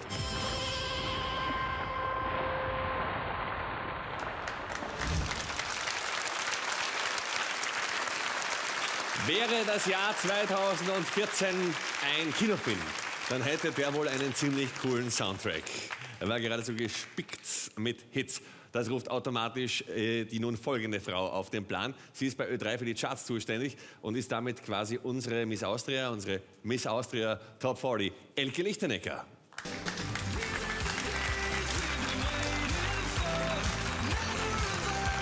Hallo allerseits. Ich präsentiere Ihnen jetzt die fünf besten Songs des Jahres 2014. Platz Nummer 5 ist ein Hit, der im März aus Australien über die ganze Welt gezogen ist. Der Song wurde als Video bereits über 400 Millionen Mal auf YouTube angeklickt. Es ist ein preisgekröntes Video, unter anderem wegen der Tänzerin, eine junge Dame aus Amerika, Maddie Ziegler ihr Name und sie ist gerade mal zwölf Jahre alt. Der Song heißt Chandelier von Sia.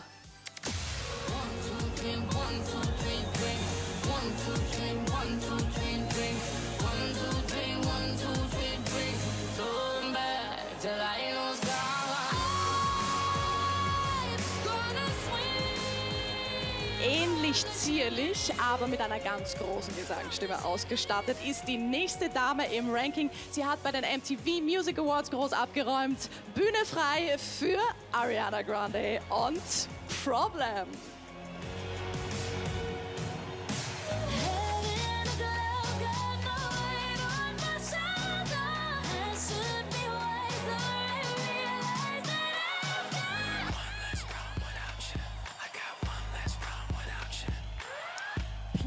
3 geht an eine siebenfach Grammy-Preisträgerin. Und sie sagt uns in ihrem Hit ganz genau, wie man auf Kritiker reagiert. Taylor Swift sagt nämlich einfach, shake it off.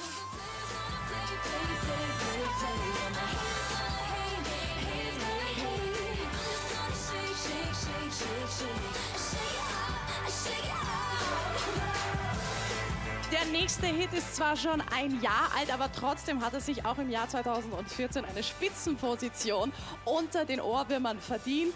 Pharrell Williams holt sich mit Happy Platz Nummer 2.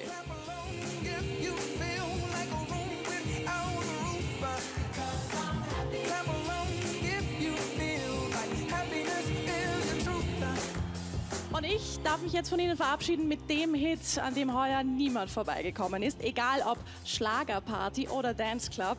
Kein DJ konnte es sich leisten, diesen Song nicht zu spielen. Der Hit des Jahres 2014 kommt von Helene Fischer, Atemlos durch die Nacht.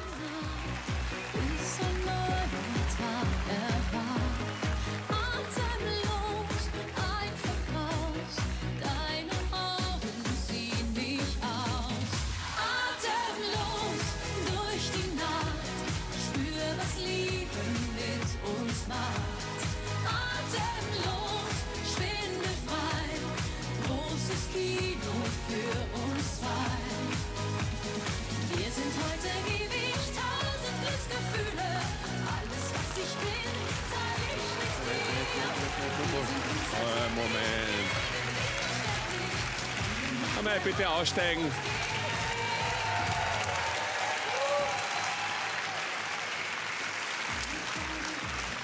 Darf ich mal bitte, wenn es geht, die Führerscheine sehen? Da hätten wir also den Juras Daniel. Und was ist denn das? Das ist ja. Das sind jetzt die neuen, die modernen. Das ist ja gebrochen. Christopher Offenthaler. Die Polizisten, sie sind es tatsächlich. Ja.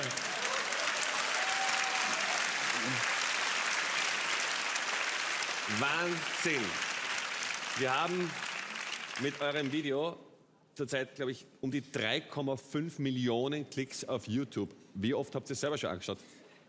Ja, so ein paar hundert Mal wird schon dabei gewesen sein. Okay. Ja. 3,5 Millionen Mal, Hallihallo. Wie ist es zu diesem Video gekommen? Es war ein wunderschöner, heißer Sommertag, ruhig war es im Dienst und wir haben einfach spontan den Entschluss gefasst, dass wir uns eben dabei filmen. War eigentlich nur für den internen Gebrauch bestimmt, das Video. Ja, da habt ihr euch gedacht, stellen wir es auf YouTube für den internen Gebrauch. ja, so war das nicht. Das war wirklich für den internen Gebrauch gedacht. Wer Ja. es eingestellt hat, wissen wir bis heute nicht. Na, ja. Nein, Entschuldigung. Moment. Ja. Also, zwei der augenscheinlich besten Polizisten des Landes. Nein. Ah, ja, ja. Wollen wir jetzt weismachen, ihr findet den Täter nicht? Besten Polizisten vielleicht, was die Videos betrifft. Ach so. Nein, er- wir wissen ihr wisst es nicht. Wir haben das Video an Kollegen geschickt, so zum internen Gebrauch in unserer WhatsApp-Gruppe. Aha. Und dann hat es halt seinen Lauf genommen, das Ganze. Verstehe. Weiß der Kollege dazu irgendwas zu sagen? Ja, wenn wir es wissen, wer es ist, könnt ihr Ja. mal fragen. Ja, verstehe. Na gut, also es wartet noch relativ viel Polizeiarbeit auf euch, nicht? Ja. Hat, das, hat, das Video, hat das Video in eurem Leben etwas verändert? Wie ist das jetzt bei, bei, bei der Verkehrskontrolle? Werdet ihr da ernst genommen? Oder? Ja, na, jetzt sind wir gerade von unserer Tournee zurückgekommen, von der Wintertournee. Oh, Jena ja. dann im Dschungel gehabt. Nein. Nein, natürlich. Es ist schon, teilweise sprechen uns die Leute schon auf das Video an. Ja. Und sagen, hey, seid ihr nicht die zwei vom Video? Dann sagen wir kurz, ja, das sind wir. Aber Führerschein zulassen 120 hätten Euro. wir, hätten wir doch dann gern. Plaudern können wir dann im Nachhinein. Nein, es ist ernst genommen werden wir schon. Ja. Ich verstehe, alles klar. Ich meine, eines muss man schon sagen. Äh, äh, ihr habt auch außerhalb von Spiel und Spaß und euren Sangeskünsten äh, wirklich gute Arbeit geleistet. Ich glaube, du hast äh, für etwas, was letztes Jahr passiert ist, auch heuer eine Medaille bekommen. Ja, das ist richtig. Das war im letzten Jahr im November eine Lebensrettung und da habe ich von der Frau Innenministerin eine Medaille bekommen. Eine Lebensrettung? Lebensrettung. Danke.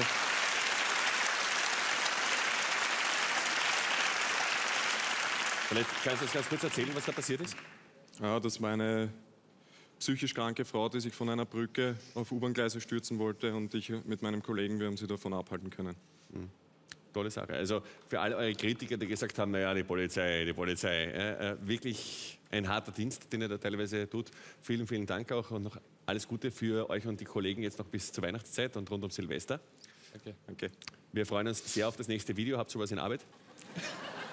Ja, wir sind noch in, in Gedanken dabei, ob wir es verwirklichen, wissen wir noch nicht. Okay. Also nein, wir konzentrieren uns auf den Beruf, wir sind doch Polizisten. Und Ein gutes Gefühl für uns so alle. bleiben. Ja. Ich danke euch ganz herzlich. Jetzt steigt in eure Schüssel und schaut bitte, dass es weiterkommt. Ja. Ja, alles, alles Gute. Vielen, vielen Dank fürs Kommen. Dankeschön. Danke. Tschüss. Ja.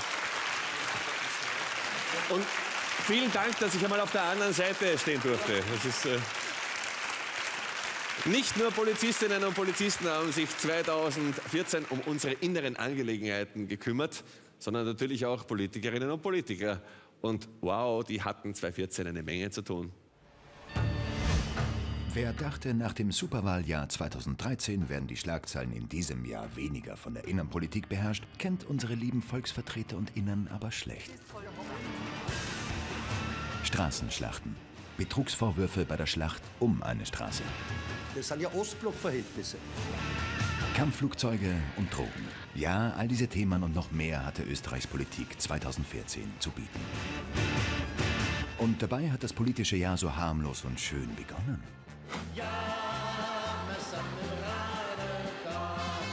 Die größte Einkaufsmeile des Landes soll zur Fußgänger- und Begegnungszone werden. Was letztes Jahr als Idee begann, sollte im März dieses Jahres dank Volksbefragung endlich Wirklichkeit werden. Danke, danke, danke. Und jetzt an dieser Stelle wirklich ein riesiges Dankeschön. An den Kosten für den Umbau der Maria-Hilfer-Straße von knapp 25 Millionen Euro stört sich übrigens kaum jemand. Wahrscheinlich, weil man als Steuerzahler hierzulande schon froh sein kann, wenn man was Echtes für sein Geld bekommt. Nicht selten hatte man ja auch 2014 das Gefühl, das Geld, ja, das verschwindet einfach. Manchmal sogar milliardenfach. Wie viele Milliarden es in der Causa Hypo am Ende genau sind, konnte auch 2014 noch nicht herausgefunden werden. Andere Kosten hingegen kennt man genau. Don't worry, be happy now. 800.000 Euro kostete der Einsatz von 1400 Polizisten gegen 19 Hausbesetzer im Sommer dieses Jahres. Und das alles nur, weil sich die Besitzer des Hauses verspekuliert hatten. Doch wenigstens hat man bei der Polizei noch Geld für große Einsätze, könnte man jetzt positiv anmerken. Denn das Bundesheer scheint selbiges ab diesem Jahr endgültig nicht mehr zu haben. Wenn da beispielsweise Rekruten gebrauchte Hemden tragen müssen, wenn sie nicht passen, wird halt ein bisschen was weggeschnitten. Wenn Angelobungen gestrichen werden, weil sich das Heer die Fahrt der Grundwehrdiener nicht mehr leisten kann. Oder Kasernen verkauft werden oder man mit alten Saab-Maschinen statt mit den neuen schnittigen Eurofightern abheben muss, weil die halt billiger fliegen. Wobei in diesem Fall sollte sich die Sparmaßnahme sogar als Glücksfall erweisen. In Österreich machen wieder die Eurofighter Probleme. Jetzt wurden Baufehler am Heck entdeckt, die die Haltbarkeit der Jets deutlich reduzieren. Das Heer beruhigte sofort. Erst in 15 Jahren wird der heuer bekannt gewordene Mangel zum Problem. Gut also, dass wir die Flieger so wenig verwenden. Wobei bei Kosten von 60.000 Euro pro Flugstunde gibt es halt jede Menge Einsparungspotenzial. Ja, Finanzminister zu sein, das war in diesem Land schon mal leichter. Und dennoch war die Meldung am 26. August aus dem Finanzministerium die Überraschungsschlagzeile des Jahres. Meine sehr geschätzten Damen und Herren, ich möchte Ihnen heute mitteilen, dass ich mit dem heutigen Tag von all meinen Ämtern in der Partei und in der Bundesregierung zurücktrete. Spindeleggers Rücktritt sorgte dafür, dass der Bundespräsident am 1. September neue Regierungsmitglieder anzugeloben hatte. Aber der Präsident konnte das ja in den letzten zehn Jahren mehr als genug üben. Und so klappte alles ohne jegliche Zwischenfälle. Doch nur kurze Zeit nachdem die neue Regierung angelobt wurde, gab es schon die ersten kleinen Differenzen. Stichwort Steuerreform. Jetzt sind einmal die Arbeitnehmerinnen und Arbeitnehmer dran, liebe Freunde. Yeah. Aber noch hält sie die neue Regierung. Hans-Jörg Schelling arbeitet als neuer Finanzminister und Reinhold Mitterlehner ist seit 1. September Vizekanzler und ÖVP-Chef. Mitterlehner ist ein bürgerlich-liberaler und kein christlich-konservativer. Von den Wählergruppen her ist das ein Vorteil, denn die ÖVP verliert ja Neos und Grüne und nicht an eine extrem konservative Christenpartei stimmen. Für die Wahl in Vorarlberg kam die Wende der ÖVP offenbar zu spät. Dort verlor man die absolute Mehrheit und wird in Zukunft mit den Grünen eine Koalition bilden. Die Neos enttäuschten übrigens bei den Vorarlberg-Wahlen, schafften es aber dafür mit einem anderen Thema etwas unfreiwillig in die landesweiten Schlagzeilen. Als erste Parlamentspartei haben die Neos am Samstag die Freigabe von weichen Drogen beschlossen. Fazit, es wird einfach nicht langweilig mit Österreichs Politikerinnen und Politikern und nächstes Jahr stehen sogar vier Landtagswahlen an. Mal sehen, wer dann in Feierlaune sein wird. Auf Wiedersehen. Die Formel 1 Weltmeister Niki Lauda und Toto Wolf suchen gerade Parkplatz oder stecken vielleicht auch in der Begegnungszone fest, aber wir warten sie in Kürze. Kratzen wir in der Zwischenzeit äh, die Kurve jetzt von der harten Welt der Innenpolitik zu den schönen und im Jahr 2014 durchaus auch manchmal etwas teuren Künsten. Das Kulturjahr 2014. Alle Leute hier vorne schreien, alle Leute hier links schreien. So bunt und abwechslungsreich das Kulturjahr 2014 auch gewesen ist, die ganz großen Schlagzeilen der Kulturberichterstattung machten heuer Menschen, die eigentlich hinter den Kulissen arbeiten sollten. Im Burgtheaterskandal hat sich heute zum ersten Mal die entlassene Vizedirektorin zu Wort gemeldet. Bereits 2013 nahm der Skandal um die Millionenverluste des Wiener Burgtheaters seinen Lauf. Doch es war im März dieses Jahres, als der frisch gebackene Kulturminister Ostermeier die Notbremse zieht. Matthias Hartmann ist heute fristlos entlassen worden. Und es sollte nicht der letzte Akt in diesem Stück bleiben.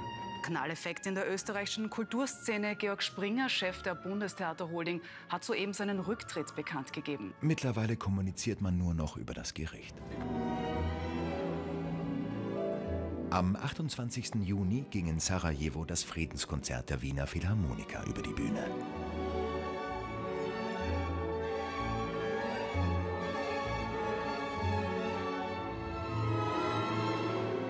Das Konzert am Jahrestag der Ermordung Franz Ferdinands war der Höhepunkt einer ganzen Reihe von Schwerpunktaktionen für das Gedenkjahr 2014, wie zum Beispiel die Dokumentation Der Weg in den Untergang oder der Tatsachenthriller Sarajevo von Emmy-Preisträger Andreas Prohaska. Wie alt ist Franz Josef jetzt? 83? 84. Er wird bald sterben. Dann wäre Franz Ferdinand Kaiser geworden. Der Film erzählt das folgenschwere Ereignis aus der Sicht des Justizbeamten Leo Pfeffer, der die Untersuchungen zum Attentat leitet. Was mir wichtig war, war einfach sozusagen einen investigativen Thriller zu erzählen auf Basis der historischen Ereignisse. Sarajevo war übrigens eines von vielen kofinanzierten Projekten des ORF im Filmjahr 2014, welches im Übrigen ein sehr abwechslungsreiches gewesen ist. Egal ob packende Dokumentation, skandalträchtige Szenen oder einfach nur gute Unterhaltung. Mehr noch als alles andere belastet mich die Gegenwart meiner Frau. Ich hasse sie.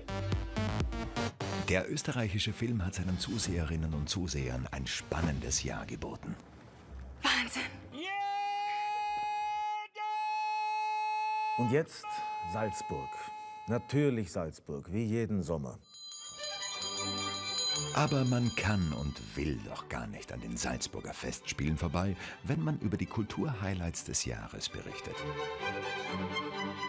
Ganze 266 Vorstellungen wurden den über 270.000 Besuchern heuer geboten. Dabei gab es gleich 17 Oper- und Theaterpremieren zu erleben, darunter auch Il Travatore mit Anna Netrebko und Placido Domingo. Und der Rosenkavalier, dirigiert von Franz Welser-Möst. Selbiger hat übrigens am Rande der Festspiele ein aus heutiger Sicht recht bemerkenswertes Interview gegeben. Heißt das, dass wir Sie am Opernball begrüßen Naja. werden dürfen? Hier und Bin ich da, da? kann ich mich dem nicht entziehen. Dass er das sehr wohl kann, sollte sich bereits wenige Tage später herausstellen. Ein Rücktritt in der Opernwelt sorgte heute für Aufregung. Franz Welser-Möst wirft als Generalmusikdirektor der Wiener Staatsoper das Handtuch. Also ich kann mich damit nicht so identifizieren, wie ich äh, das von meinem Amtsverständnis her sollte. Und deshalb trete ich zurück. Ich bedauere diese Situation, weil ich viel Respekt für den, für den Franz habe. Schon wieder ein ehrwürdiges Haus mit negativen Schlagzeilen. Fast hätte man sich ernsthafte Sorgen machen müssen. Doch dann kamen im Oktober endlich mal gute Nachrichten aus dem Burgtheater. Karin Bergmann wurde, als erste Frau in der Geschichte, zur Direktorin ernannt und die Betroffenen sind sich sicher, dass die schwierigsten Zeiten jetzt überwunden sind. Es war wirklich ein Jubelschrei, so wie wir es eigentlich unseren Premieren wünschen, wenn der Vorhang zugeht. Ja. So war das jetzt mal von uns aus, aus, äh, aus Herz und Hirn volle Zustimmung.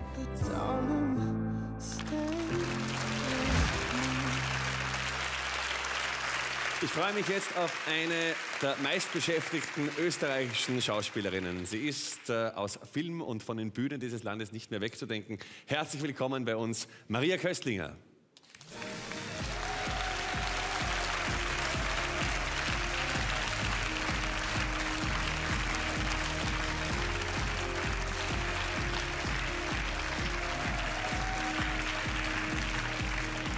Mich sehr. Hallo.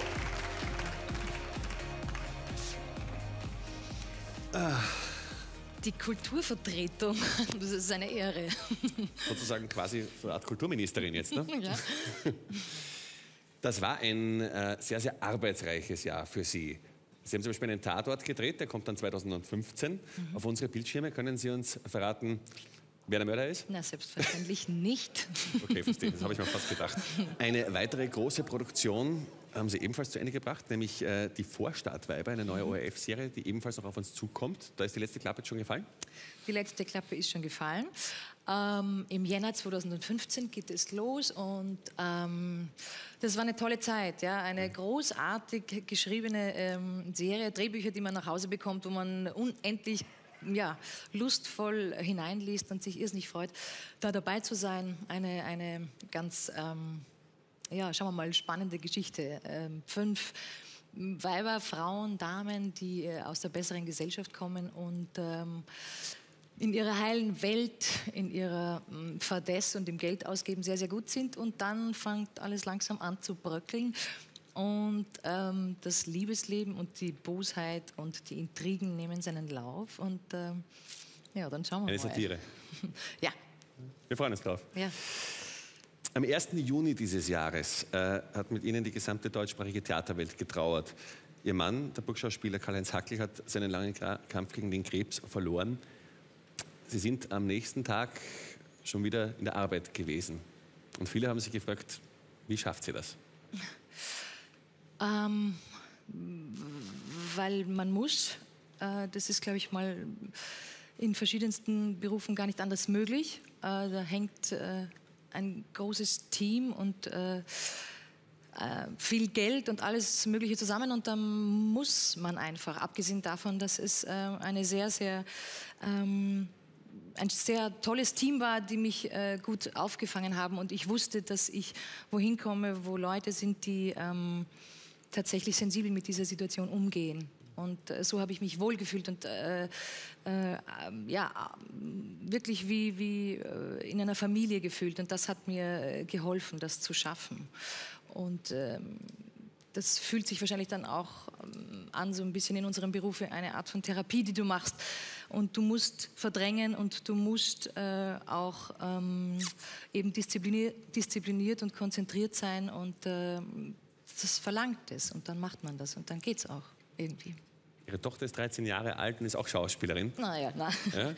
Also sie ist äh, jetzt schon 14 und sie möchte 14, gerne, ja. sie möchte gerne.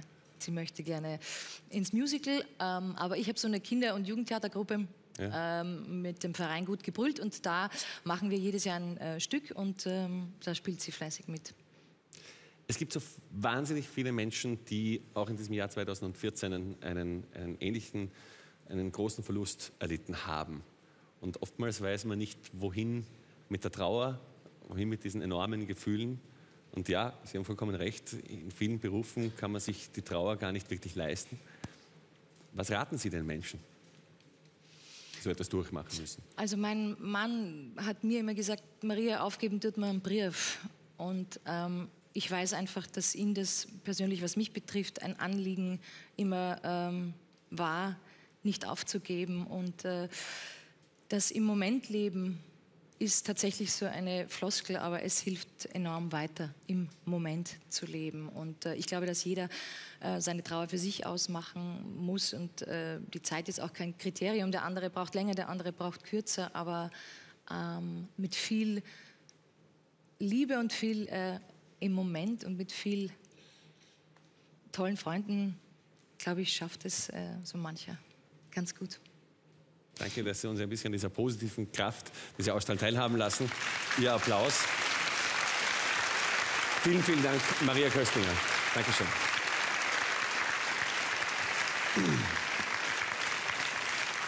Vom Theater zum Zirkus sozusagen, denn 2014 war auch das Jahr, in dem der größte Zirkus der Welt wieder rot-weiß-rot geworden ist, die Formel 1. Das aus österreichischer Sicht schönste Comeback des Jahres verdanken wir Österreichs beliebtesten und medienscheuesten Milliardär und der Tatsache, dass diesem zwei simple Worte eines anderen, weit weniger beliebten Milliardärs reichten, um richtig tief in die Tasche zu greifen. Why not? Ja, warum nicht? sagte Bernie Ecclestone Anfang 2013 auf die Frage, ob man nicht wieder in Österreich Formel 1 fahren könnte. Daraufhin wurden von Red Bull satte 200 Millionen Euro investiert. Davon 70 Millionen in die Rennstrecke und 130 Millionen in Tourismus und Umgebung. Darunter auch so Aktionen wie Bau dein Haus schön um, Herr Matteschitz zahlt. Das Material. Der Zaun ist da gestrichen worden, das Eck da. Vorne beim Carport die Loten und hinten runter die Mauer haben wir neu gestrichen. Ob die Investitionen auch für Red Bull etwas bringen, war dabei für Mateschitz offenbar nie Thema. Das Projekt Spielberg ist langfristig angelegt und eines ist klar, für die Region ist die Rückkehr der Formel 1 ein Volltreffer. Wir haben alle eine Murzerfreude. Wir werden heute noch feiern. 70 Millionen Wertschöpfung pro Jahr, 270 neue Arbeitsplätze und sogar 1260 kurzfristige Arbeitsplätze vor und nach dem Formel 1-Zirkus. Und der ist ja eigentlich der größte Vorteil an der Sache. Denn endlich rauschten in Spielberg wieder die Königsklasse-Motoren.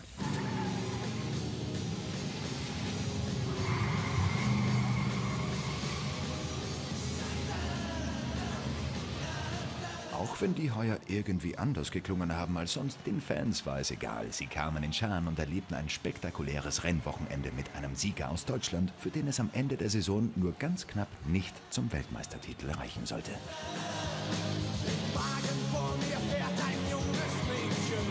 Nico Rosberg siegte vor Lewis Hamilton, der ja mittlerweile bekanntlich amtierender Formel 1 Weltmeister ist. Das war der einzige kleine Wermutstropfen beim großen Spielberg-Comeback. Österreichs Formel 1-Fans hatten nichts zu jubeln.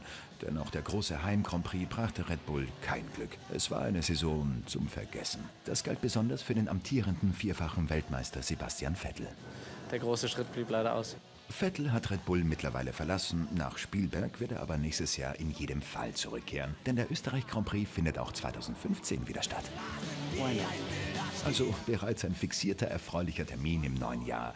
Jetzt, wo das Comeback erfolgreich absolviert ist, kann man das ja mit Sicherheit so sagen.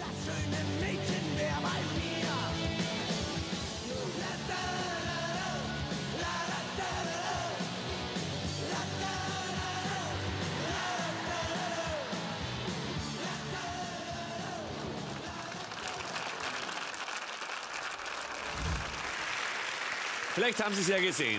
Lewis Hamilton weiß, er ist Weltmeister und er dreht seine Siegesrunde und er schwenkt eine Fahne aus dem Cockpit und ich sitze vom Fernsehen und denke mir, was schwenkt er da? Die britische Flagge? Warum nicht rot-weiß-rot? Die beiden Herren, die hier kommen, die hätten sich weiß Gott verdient. Hier sind die frisch gebackenen Weltmeister.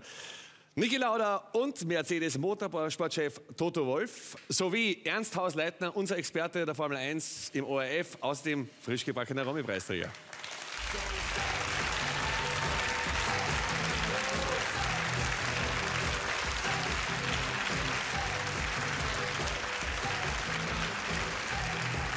Sie erst Niki. Bitte Sie Platz. Herzlich willkommen. Herzlich willkommen. Robert, du bist hier. Bitte was? Du bist hier, es freut mich.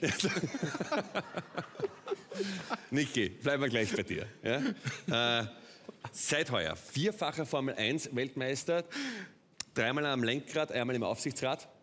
Äh, was freut denn da mehr? Oder freust du dich überhaupt über irgendwas? Natürlich freue ich mich über irgendwas. Empfindet Niki Lauda Freude?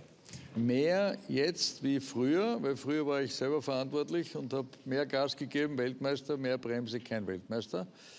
Und heuer ist es ein Riesenteam, was wir, der Toto und ich, gemeinsam zusammengebaut haben.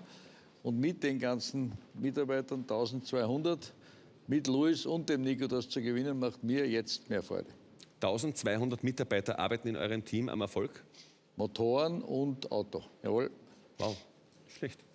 Und die haben einiges zu tun gehabt, denn äh, das Formel 1-Jahr 2014 hat viele technische Änderungen gebracht. Toto Wolf, die Aufregung war da teilweise groß, aber rückwirkend gesehen für euch kein Schaden. Ja, es war natürlich ein großer, eine große Reglementänderung und am Anfang war das Testen so kompliziert, dass man überhaupt sich erwartet hat, dass nicht viele Autos das Ziel erreichen werden. Aber es war dann ganz anders. Die Ingenieure haben wirklich eine gute Arbeit geleistet und am Ende war es dann eines der spannendsten Jahre, auch wenn es natürlich für uns leichter ist, ähm, das so zu sehen. Aber ich glaube, die Show war groß. Ernst Hausleitner, erst einmal Gratulation nochmal zur Romy Oh, danke, 2014. danke. Dich und den Alex Wurz. Danke sehr. Man muss sich ja vorstellen, du reist als, als Reporter und Kommentator mit der Formel 1 durch die ganze Welt. Da sind Also, tolle. Stationen dabei, Abu Dhabi, Monaco, Singapur und jetzt halt wieder Österreich. Ja, bleib mal daheim. Das war doch sicher eine gute Nachricht für dich, dass du mal nicht weit fliegen musst. Es war zum einen eine gute Nachricht, aber zum anderen eine, mit der eigentlich niemand gerechnet Mhm. hat. Also das war eigentlich nicht absehbar, dass der Grand Prix wirklich nach Österreich zurückkehren wird. Und äh, als er dann da war, haben wir uns alle riesig gefreut. Und ich glaube, man hat da auch äh, einen Maßstab gesetzt im Punkto Vermarktung und im Punkto, wie man so ein Formel-1-Wochenende aufziehen kann. Das äh, sage ich jetzt nicht durch die rot-weiß-rote Brille durch, sondern es äh, haben viele, viele Medienkollegen, Journalistenkollegen auch gesagt, dass der Österreich Grand Prix wirklich herausgestochen ist aus dieser Serie der 19 Grand Prix heuer. Ist das so, Niki Ja. Toto? Erstens, die Anreise war kurz, 20 Minuten war für uns einmal toll. Aber was hier geschaffen wurde, hast du vollkommen recht, unglaubliches Fernsehspektakel, nämlich auch vom Publikum und das Rennen selber. Und dass wir beide natürlich Red Bull am Red Bull-Kurs geschlagen haben, war die besondere Freude. Das denke ich mir, dass das jetzt kommen muss, ist eh klar. Äh, Formel 1 bei uns in Österreich schön und gut, aber was sich natürlich wahnsinnig viele von Herzen wünschen würden, ist äh, auch wieder mal einen österreichischen Fahrer oder vielleicht auch eine Fahrerin. Ich denke da jetzt zum Beispiel an deine Frau Toto, die eine hervorragende Rennfahrerin ist, oder auch der Neffe von Gerhard Berger soll ja sehr talentiert sein. Ja, es ist natürlich schwierig, bis in die Formel 1 zu kommen. Und es fehlt in Österreich leider an der Dichte, auch in den unteren Kategorien. Äh, Es ist ein sehr kommerzieller Sport geworden. Du brauchst Budget, um dich durch diese Serien hochzuarbeiten. Und ähm, die Susi ist in einer, in einer guten Position bei Williams, wobei sie nur zur Hälfte Österreicherin ist. Ähm, oder weniger, wenn man sie fragt. Ähm, Und aber du bist die österreichische Hälfte. ja, genau, ich bin die Hälfte, aber sie wehrt sich dagegen irgendwie. Du bist ja der Mann, du bist Ja. vor der Hälfte. Ja, ich mache Mann, wirklich Niki, Druck. es ist immer so lehrreich mit dir. Ich mache Druck, du machst ja auch Druck. Ja, ja, Ja. motiviere sie jeden Tag. Ja. Also vielleicht machen wir sie zur Österreicherin und vielleicht kommt sie in ein Auto, aber ähm, der Lukas Auer, der Neffe von Gerhard, hat großes Talent, war in der Formel 3 richtig gut dabei und ähm, jetzt muss man sehen, wie es die nächsten Schritte weitergeht. Wenn wir schon beim Nachwuchs sind, äh, ich habe gehört, Niki, dein fünfjähriger Sohn, der Max, ruft äh, durchs ganze Haus, ich werde Weltmeister. Freut dich sowas? Nein. Er, er fährt auch da mit dem Roller Ja? und sagt, ich werde Weltmeister und fährt voll in die Tür. Dann sage ich zu Birgit, das wird kein Weltmeister. Wäre das jetzt ernsthafterweise schwierig für dich, wenn, wenn, wenn, wenn deine Kids da irgendwann einmal im Cockpit landen? Mir wird immer wieder erklärt, äh, wenn die Kids die Gene haben, dann soll man sie lassen. So, glaubst du, da- dass ich jetzt mit meinen Genen dem Max oder der mir schon das Rennfahrerleben hineingetan habe? Das ist die große Frage. Ich glaube es nicht. Ich glaube, dass Sie natürlich sehen zu Hause, wenn der Vater Rennfahrer war, werden Sie natürlich mit dem Ganzen, wachsen Sie mit auf. Aber ich glaube, Sie müssen erst selber dann durch Go-Kart fahren und andere Dinge überhaupt erkennen, ob Sie es können. Aber du hast ja Ähnliches schon durchgemacht. Beim, beim Matthias, der dann auch äh, GP2 gefahren ist, DTM gefahren ist. Also der hat auch die Gene mitbekommen. Der hat sich gegen, meine, gegen meinen Willen wirklich, der Lukas hat das dann hinter meinen Rücken für seinen Bruder organisiert und durchgesetzt, weil damals war ich komplett dagegen, weil die Gefahrengröße war natürlich viel mehr wie heute. Aber grundsätzlich sage ich einmal, der soll mal machen, was er will. Die Mia fährt besser mit dem Roller wie der Max, nur so nebenbei. Also man könnte hier auch wählen zwischen Susi, Mia und so weiter. Äh, aber ich würde mal sagen, ich lasse das lieber in Ruhe und dann schauen wir, was herauskommt. Niki Lauda hat uns ja für diesen heutigen äh, Jahresrückblick das Leitungswasser spendiert. Vielen Dank dafür. Gern geschehen. Und deswegen hebe ich einmal auf euren Erfolg das Glas, auf euch und auf uns.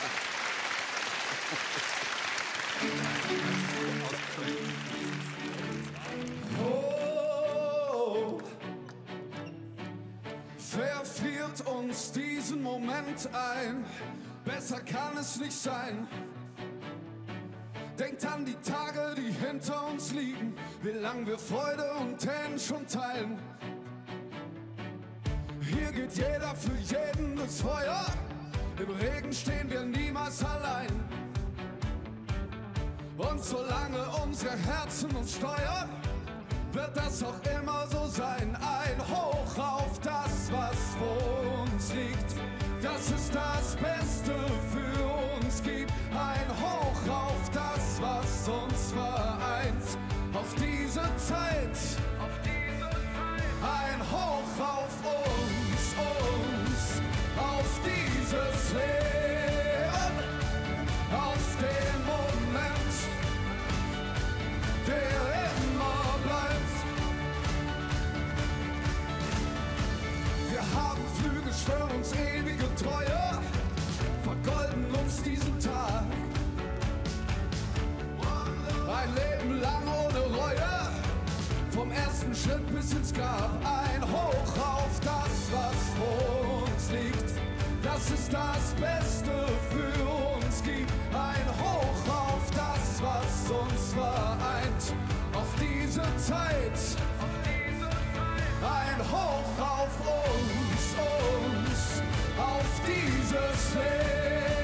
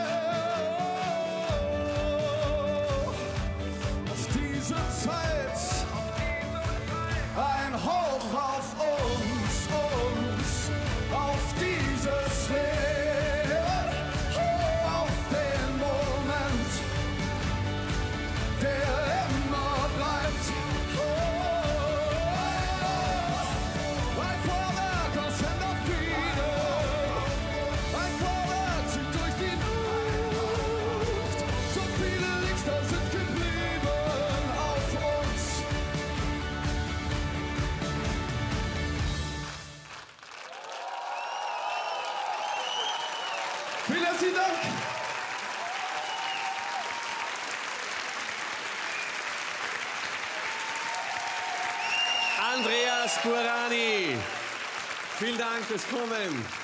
Hat eigentlich einen Song über seinen Freundeskreis geschrieben, aber am Ende war es dann nicht nur bei uns ein Riesenhit in Deutschland, bei unseren Nachbarn. Liebe Grüße. Das war eine Hymne. Grund? Die Fußball-WM 2014. Vier Jahre sind schon eine wirklich lange Zeit, wenn man auf etwas warten muss. 2014 hatte das Warten endlich ein Ende, denn heuer war wieder Fußball-Weltmeisterschaft. Und was für eine.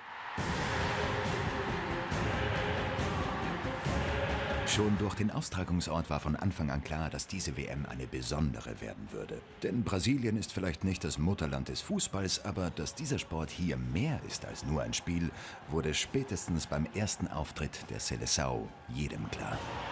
Die Spieler und die Fans Brasiliens akzeptieren die verkürzte Version der Hymne der FIFA nicht und singen fertig.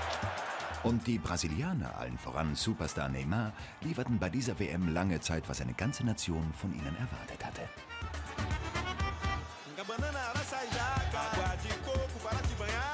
Überhaupt hatte man sehr lange den Eindruck, dieses Turnier steht ganz im Zeichen der Mannschaften aus Südamerika. Die Costa Ricaner haben 1 zu 0 gegen Italien gewonnen und dieses Ergebnis hat noch eine Auswirkung. England ist nämlich endgültig draußen bei dieser WM. Die Engländer mussten genau wie die Italiener bereits nach der Gruppenphase den Heimflug buchen und waren damit sogar in höchst prominenter Gesellschaft. Denn der bis dahin amtierende Welt- und Europameister Spanien machte gleich im ersten Spiel klar, dass es wohl eher nichts werden würde mit der Titelverteidigung. Und auch Weltfußballer Cristiano Ronaldo und seine Portugiesen verabschiedeten sich noch vor dem Achtelfinale. Dafür schaffte es das Sensationsteam aus Costa Rica sogar bis ins Viertelfinale. Und wer weiß, wie weit es Uruguay noch gebracht hätte, wäre da nicht diese längst schon legendäre Bissattacke im Spiel gegen Italien gewesen. Sechs Monate Sperre für Suarez und dennoch konnte man über diese Unsportlichkeit irgendwie noch lachen. Ganz im Gegensatz zu einem anderen Foul, das eine ganze Nation ins Unglück stürzen sollte.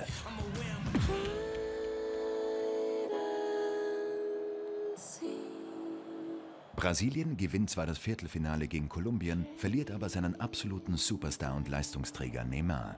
Diagnose Wirbelbruch. So manch ein Brasilianer soll nach dem Spiel gesagt haben, das war das Schlimmste, das uns passieren konnte. Ein großer Irrtum, wie sich nur vier Tage später herausstellen sollte.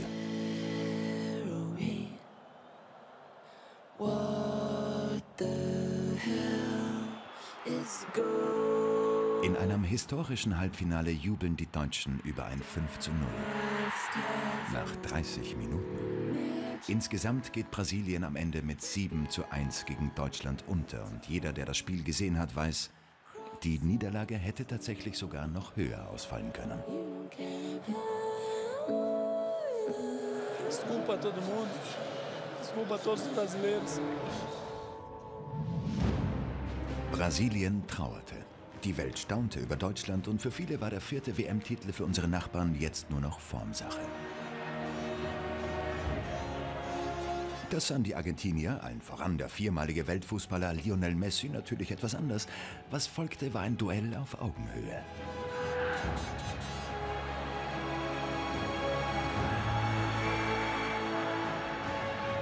Entscheidend sollte sich dieses Spiel erst in der zweiten Hälfte der Verlängerung. Dann aber durch ein Tor, das eines Weltmeisters mehr als würdig gewesen ist. Und da ist der Ball im Tor! Deutschland im Freudentaumel. Der erste WM-Titel seit 24 Jahren und das erste Mal überhaupt, dass eine europäische Mannschaft in Südamerika zum Weltmeister wurde. Ich habe heute Abend das erste Mal geweint. Ob die Südamerikaner allen voran die gedemütigten Brasilianer jetzt erst recht zurückschlagen, man wird es erfahren in vier langen Jahren.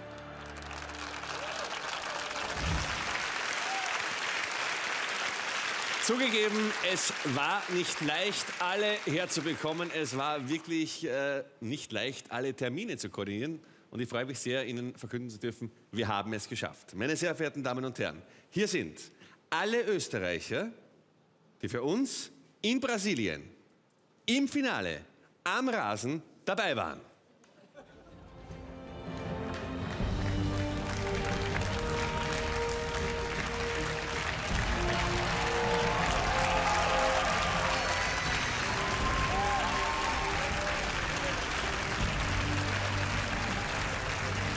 Das ist Gabriel Kuhn.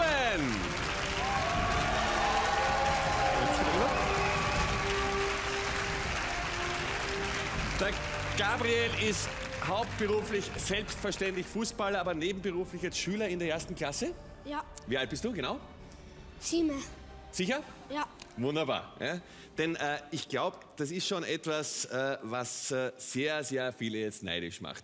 Du warst wirklich dabei. Wir können uns die Bilder gleich auch noch einmal anschauen.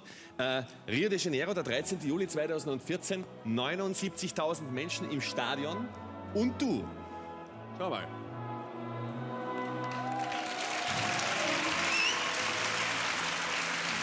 Es gibt ja nicht viele Österreicherinnen und Österreicher, die jetzt wüssten, wie das ist, äh, in äh, so einem Moment tatsächlich am grünen Rasen zu stehen beim WM-Finale. Wie war das?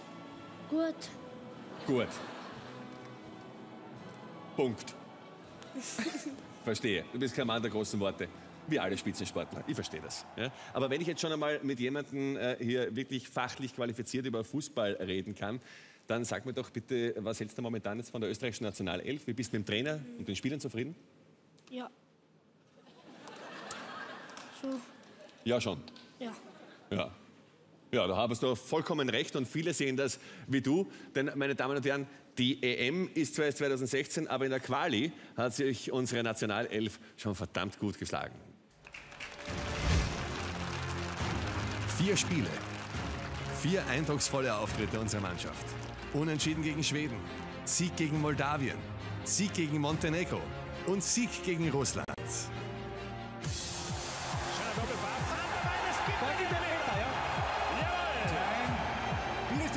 Schlecht. Ja, wieder. Es gibt Elfmeter. Kommt nicht an den Ball. Flanke gut vom Klein in Richtung zweite Stange gezogen. Seine Szene. Aber da gibt es eben die Situationen, wo es gut ist, dass er behauptet. Vom Spielfeld.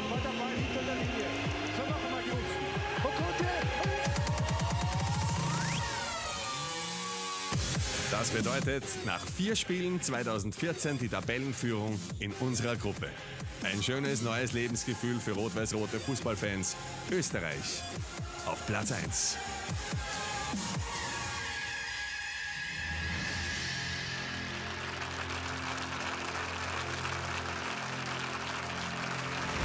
Gerda Rogers, die Frau, die jetzt schon weiß, wie die EM 2016 ausgehen wird, aber darüber reden wir dann ein bisschen später. Schauen wir mal jetzt, wenige Tage vor dem Ende dieses Jahres, auf das nächste, die Sterne für das Jahr 2015. Also starten wir mit dem Schützen. Ja, gerne. Ja, die kommen in die Saturnphase. Die werden sich von einigen befreien. Die setzen schon an zum Befreiungsschlag. Das kann auch die Partnerschaft treffen. Die Steinböcke. Sind ja die äh, realistischen, vernünftigen Sternzeichen. Die sind weiter auf wirtschaftlichen Erfolgskurs. Haben sehr viel schon geändert äh, in diesem Jahr. Geht toll weiter. Die im Wassermann-Zeichen geborenen. Die sind ruhig geworden. Die waren immer so unruhig, so freiheitsliebend. Und auf einmal merke ich, wie die Wassermänner heiraten wollen, wie sie sich finden. Auf einmal kann man leben mit ihnen. Toll, das werden sie weiter fortsetzen. Kennst du die Wassermannfrau, weil du jetzt so schmunzelst? Äh, nein. äh, ich kenne Fische. Ja, anlehnungsbedürftig. Wirklich? Musst du recht lieb mit ihnen sein. Dann kriegst du viel zurück, aber auch die Fische lassen sich jetzt nicht mehr so viel gefallen, wie es einmal war. Und haben sich befreit, aber sind eher auf neuen Ausbildungen. Partnerschaft haben sie jetzt ganz gut im Griff. Die Wiedergeborenen. Ja, das sind ja wirklich äh, die Himmelstürmer, die Manager, die auf Reformkurs sind und das wirklich jetzt absolut 2015 alles in die Höhe bringen, was sie sich vorgenommen haben. Stier? Ja. Jetzt hast du es bald überstanden, Robert. War eine schwierige Zeit bei den Stieren. Ja, Sehr anstrengend, aber sie verlieren, den, verlieren nicht den Boden unter die Füße. Ja, freu dich. Du, ein bisschen darfst du noch erotisch flirten und ab dem Sommer ist aus. Kommst du unter die Haube, dann wird es ernst mit dir. Ach, äh, interessant. Ja, ja vielleicht wird sich Zeit, jemand. Ja, es danke wird vielmals. Zeit, dass ich dich unter die Haube bringe. Ja, die Zwillinge. Die müssen sich momentan ein bisschen in Geduld üben, Mhm. haben den Saturn in Opposition und das sind nicht die geduldigsten. Aber die sind aber auch momentan ein bisschen auf Partnerschaftskurs, auf Neukurs. Krebs. Familienmenschen planen jetzt wieder mal ihr Häuschen, bauen, äh, bauen sich wirtschaftlich aus. Ja, toll. Aber die haben auch eine schwierige Zeit gehabt. Wie geht's im kommenden Jahr den Löwen? endlich wieder glänzen. Sie strahlen sie. Die, und ich muss sagen, sie sind ja wirklich sehr fleißige Menschen. Beruflich sehr, sehr gut und gehen eine Karriereleiter weiter hinauf. Die Jungfrauen 2015. Ah, ja, ein bisschen gedämpft. Oh. Nicht so gut, gefällt mir nicht so gut. Also vor allem äh, beruflich überlegen sie sehr viel, wohin der Weg geht, aber auch privat. Also alle Singles momentan, sie werden nicht den richtigen finden. Was? Ja, so, Äh. Waage. sind schon wieder in Harmonie, denn ich gehe schon wieder sehr, sehr gut den Wagen. Ja. ja, ich mag sie, sie sind künstlerische, harmonische Menschen. Sie haben die Harmonie wieder. Geht so weiter. Und was bringt das Jahr 2015 den Skorpionen? Ja, also das sind die Kämpfer, die beißen sich wirklich hinein in ihre Arbeit, verfolgen hartnäckig ihre Ziele. Und äh, sie haben schon sehr begonnen, äh, jetzt im heurigen Jahr. Aber das kommende Jahr, da wird noch ein Schöffel nachgelegt. Es geht steil bergauf. Na wunderbar. Vielen Dank, Gerda Rogers. Gerne. Für zumindest eine Skorpiondame, übrigens äh, Aszendent Steinbock, war es aber definitiv jetzt schon, 2014, das Jahr ihres Lebens.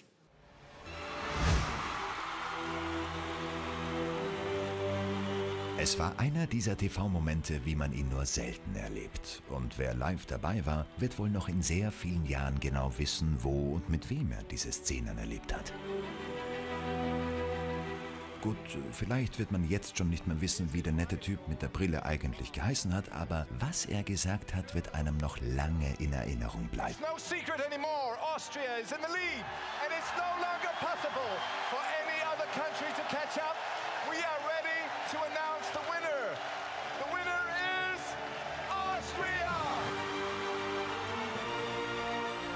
Österreich gewinnt den Eurovision Song Contest. Bis heute klingt das irgendwie unglaublich.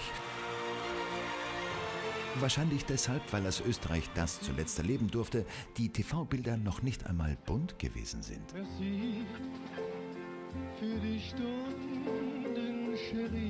Vielleicht scheint es aber auch deshalb so unwirklich, weil man nicht so recht wusste, wie die Welt auf den Ex-Starmania-Kandidaten und Travestiekünstler Thomas Neuwirth reagieren würde. Die Reaktionen auf Conchita Wurst waren seit jeher gemischt.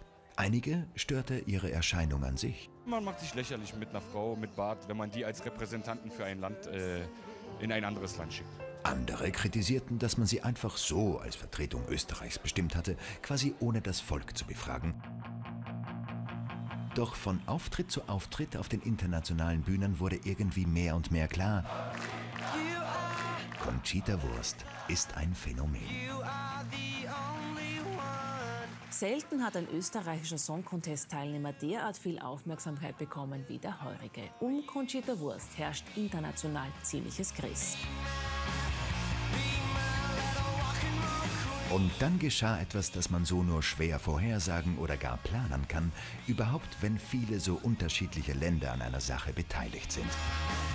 Conchita wurde zum Symbol.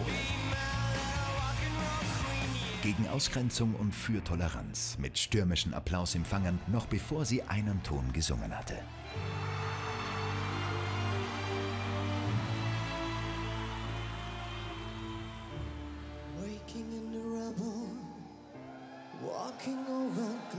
Dass ihre Performance dann obendrein noch spektakulär war, dürfte das Tüpfelchen auf dem i und der Grund für ihren Sieg gewesen sein.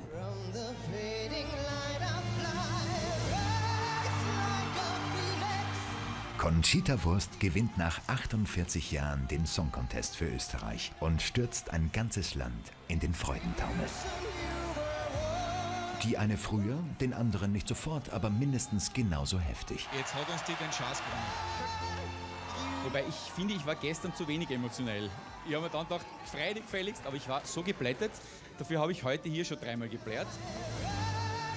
Conchita Wurst wird das Jahr 2014 jedenfalls nie vergessen. Das ist das offizielle Siegerinterview. Ich weiß nicht, was wir daraus machen werden, aber so ist, so ist auch schön. Das Jahr, in dem sie zur Königin von Europa wurde. Mir wurde mein Traum erfüllt und das ist unbeschreiblich, unbeschreiblich. Waking in the rubble, walking over glass. Neighbors say we're trouble. Well, the time has passed. Peering from the mirror, nobody's near. A stranger getting nearer. Who can this person be? You wouldn't know me at all today. From the fading light I fly,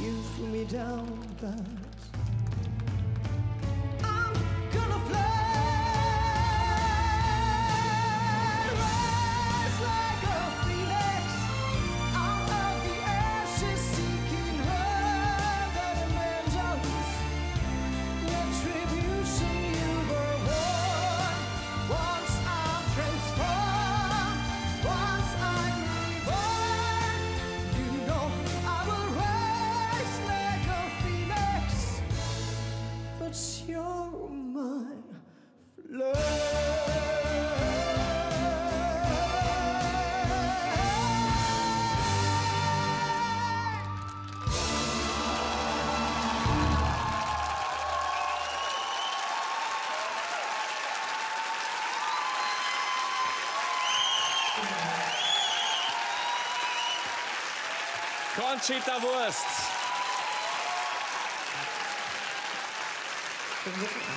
Guten Abend. Dankeschön, vielen Dank.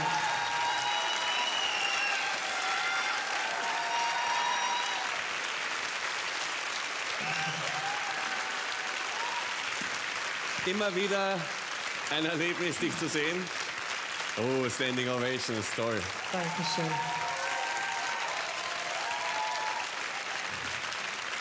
Conchita, wie oft, kannst du dich erinnern, hast du mitgezählt, wie oft hast du seit dem Song Contest Finale diesen Song jetzt schon gesungen? Ich habe keine Ahnung.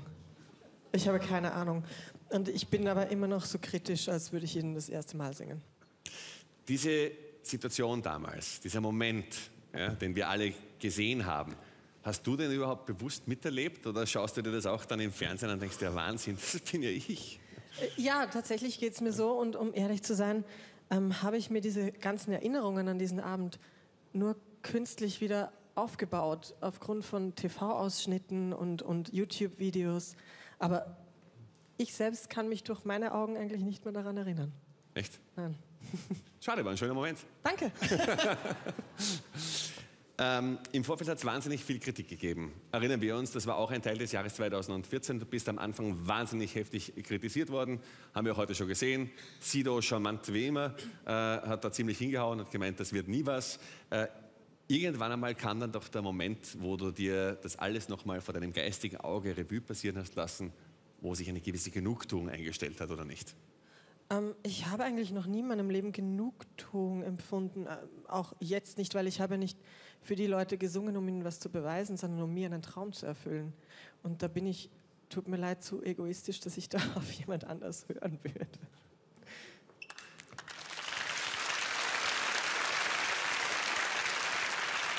Mit dabei in Kopenhagen war auch, wir nennen ihn intern den Mr. Song Contest. Äh, niemand kennt sich da besser aus, äh, des ORF Andi Knoll. Und äh, der war, glaube ich, auch sehr überrascht, wie wir alle. Ja. Und jetzt kommt er, Andi Knoll, mit einer Überraschung für dich.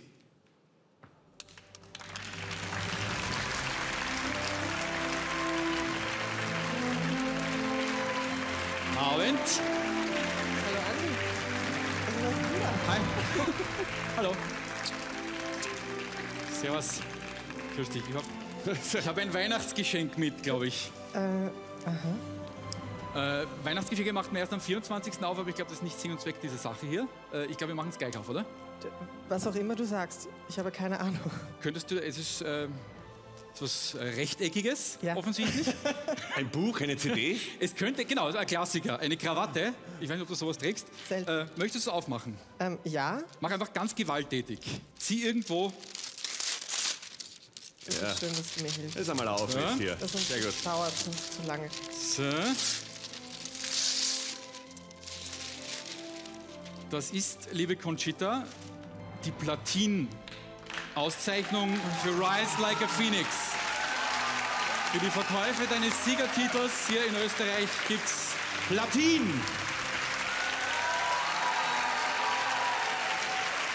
Unfassbar.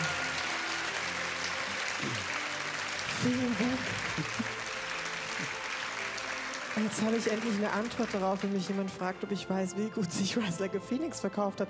Ähm, un- unfassbar. Haben sich ganz viele tausend Menschen downgeloadet legal und die CD gekauft. Vielen, vielen, vielen Dank. Ähm, ich weiß gar nicht, was ich sagen soll.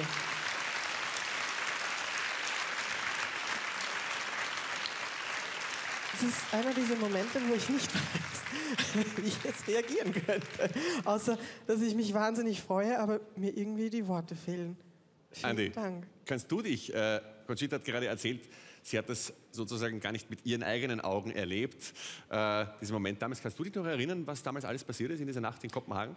Nicht wirklich, muss ich ehrlicherweise sagen. Weil, also ich weiß nur, die Nacht war kurz. Ich habe, glaube ich, 20 Minuten geschlafen, weil äh, das dauert ja ewig bis du aus der Halle draußen bist. Da kommt dann eine Pressekonferenz. Es war, glaube ich, drei in der Früh. Dann sind wir in den Euroclub, da hast du den Song nochmal gesungen. Und um sieben ging der Flieger. Äh, dazwischen habe ich versucht, kurz zu schlafen. Und es sind Momente passiert, wo, glaube ich, du nicht mal mehr weißt, äh, was da alles war. Es gibt äh, Programmhinweis. Heute im Anschluss an diese Sendung gibt es Was gibt es Neues? Und dann gibt es eine Dokumentation auf den Schwingen des Phönix. Da gibt es noch nie gezeigte Bilder, also die Bilder, die wir alle schon gesehen haben, nicht genug kriegen, davon, genug kriegen können davon, aber auch solche, die du noch nicht gesehen hast. Äh, und da sieht man so ein bisschen, was da alles passiert ist in dieser Nacht. 23 Uhr 25 ORF 1. Ja. Conchita auf den Schwingen des Phönix. Ja. Vielen, vielen Dank. Ich glaube, da hinten haben wir auch äh, eine kleine Stellage, damit es mal schön steht. Ich nehme das Altpapier mit, sagt die Oma immer bei den Weihnachtsgeschenken. Danke, Andi. Stell das da. Andi Knoll, ja, meine Damen und Herren. Und dich, liebe Conchita, lassen wir jetzt nicht gehen ohne deinen neuen Song, ja, für den es dann hoffentlich auch Maseltoff bald Platin gibt. Hier ist Conchita Wurst mit Heroes.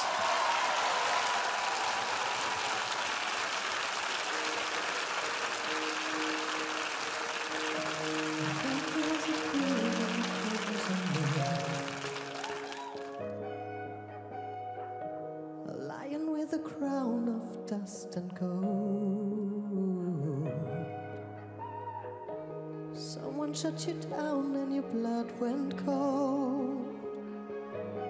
Baby, can you wake up? Baby, can you wake up again? So don't let go.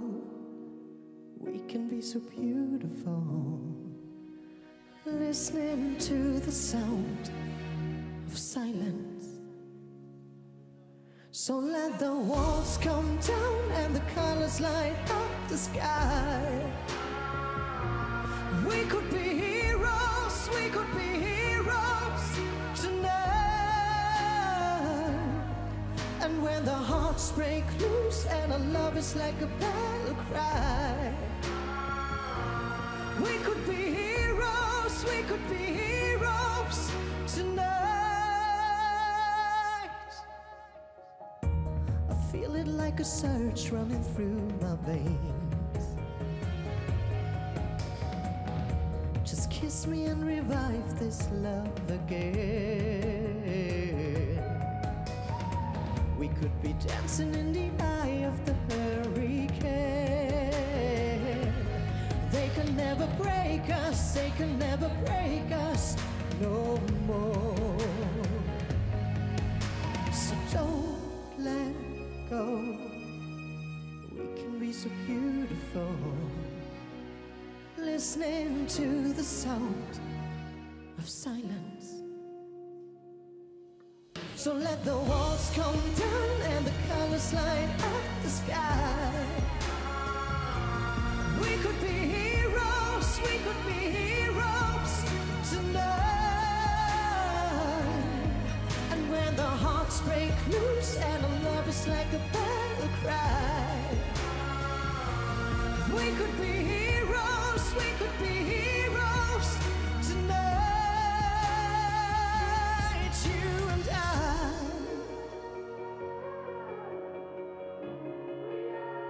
Love is like a battle cry.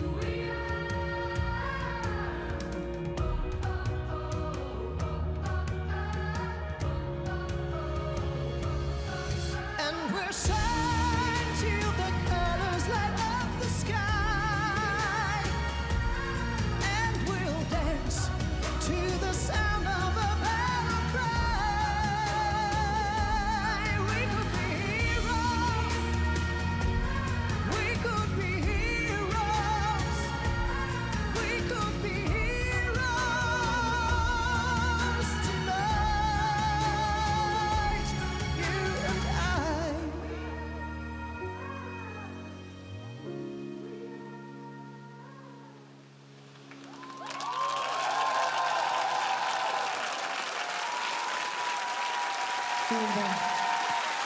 Dankeschön. Vielen Dank.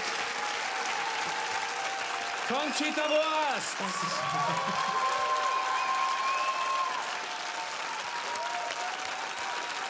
Vielen Dank. Und ich bitte jetzt noch einmal alle Heroes des heutigen Abends zu uns auf die Bühne. Vielen Dank, Conchita.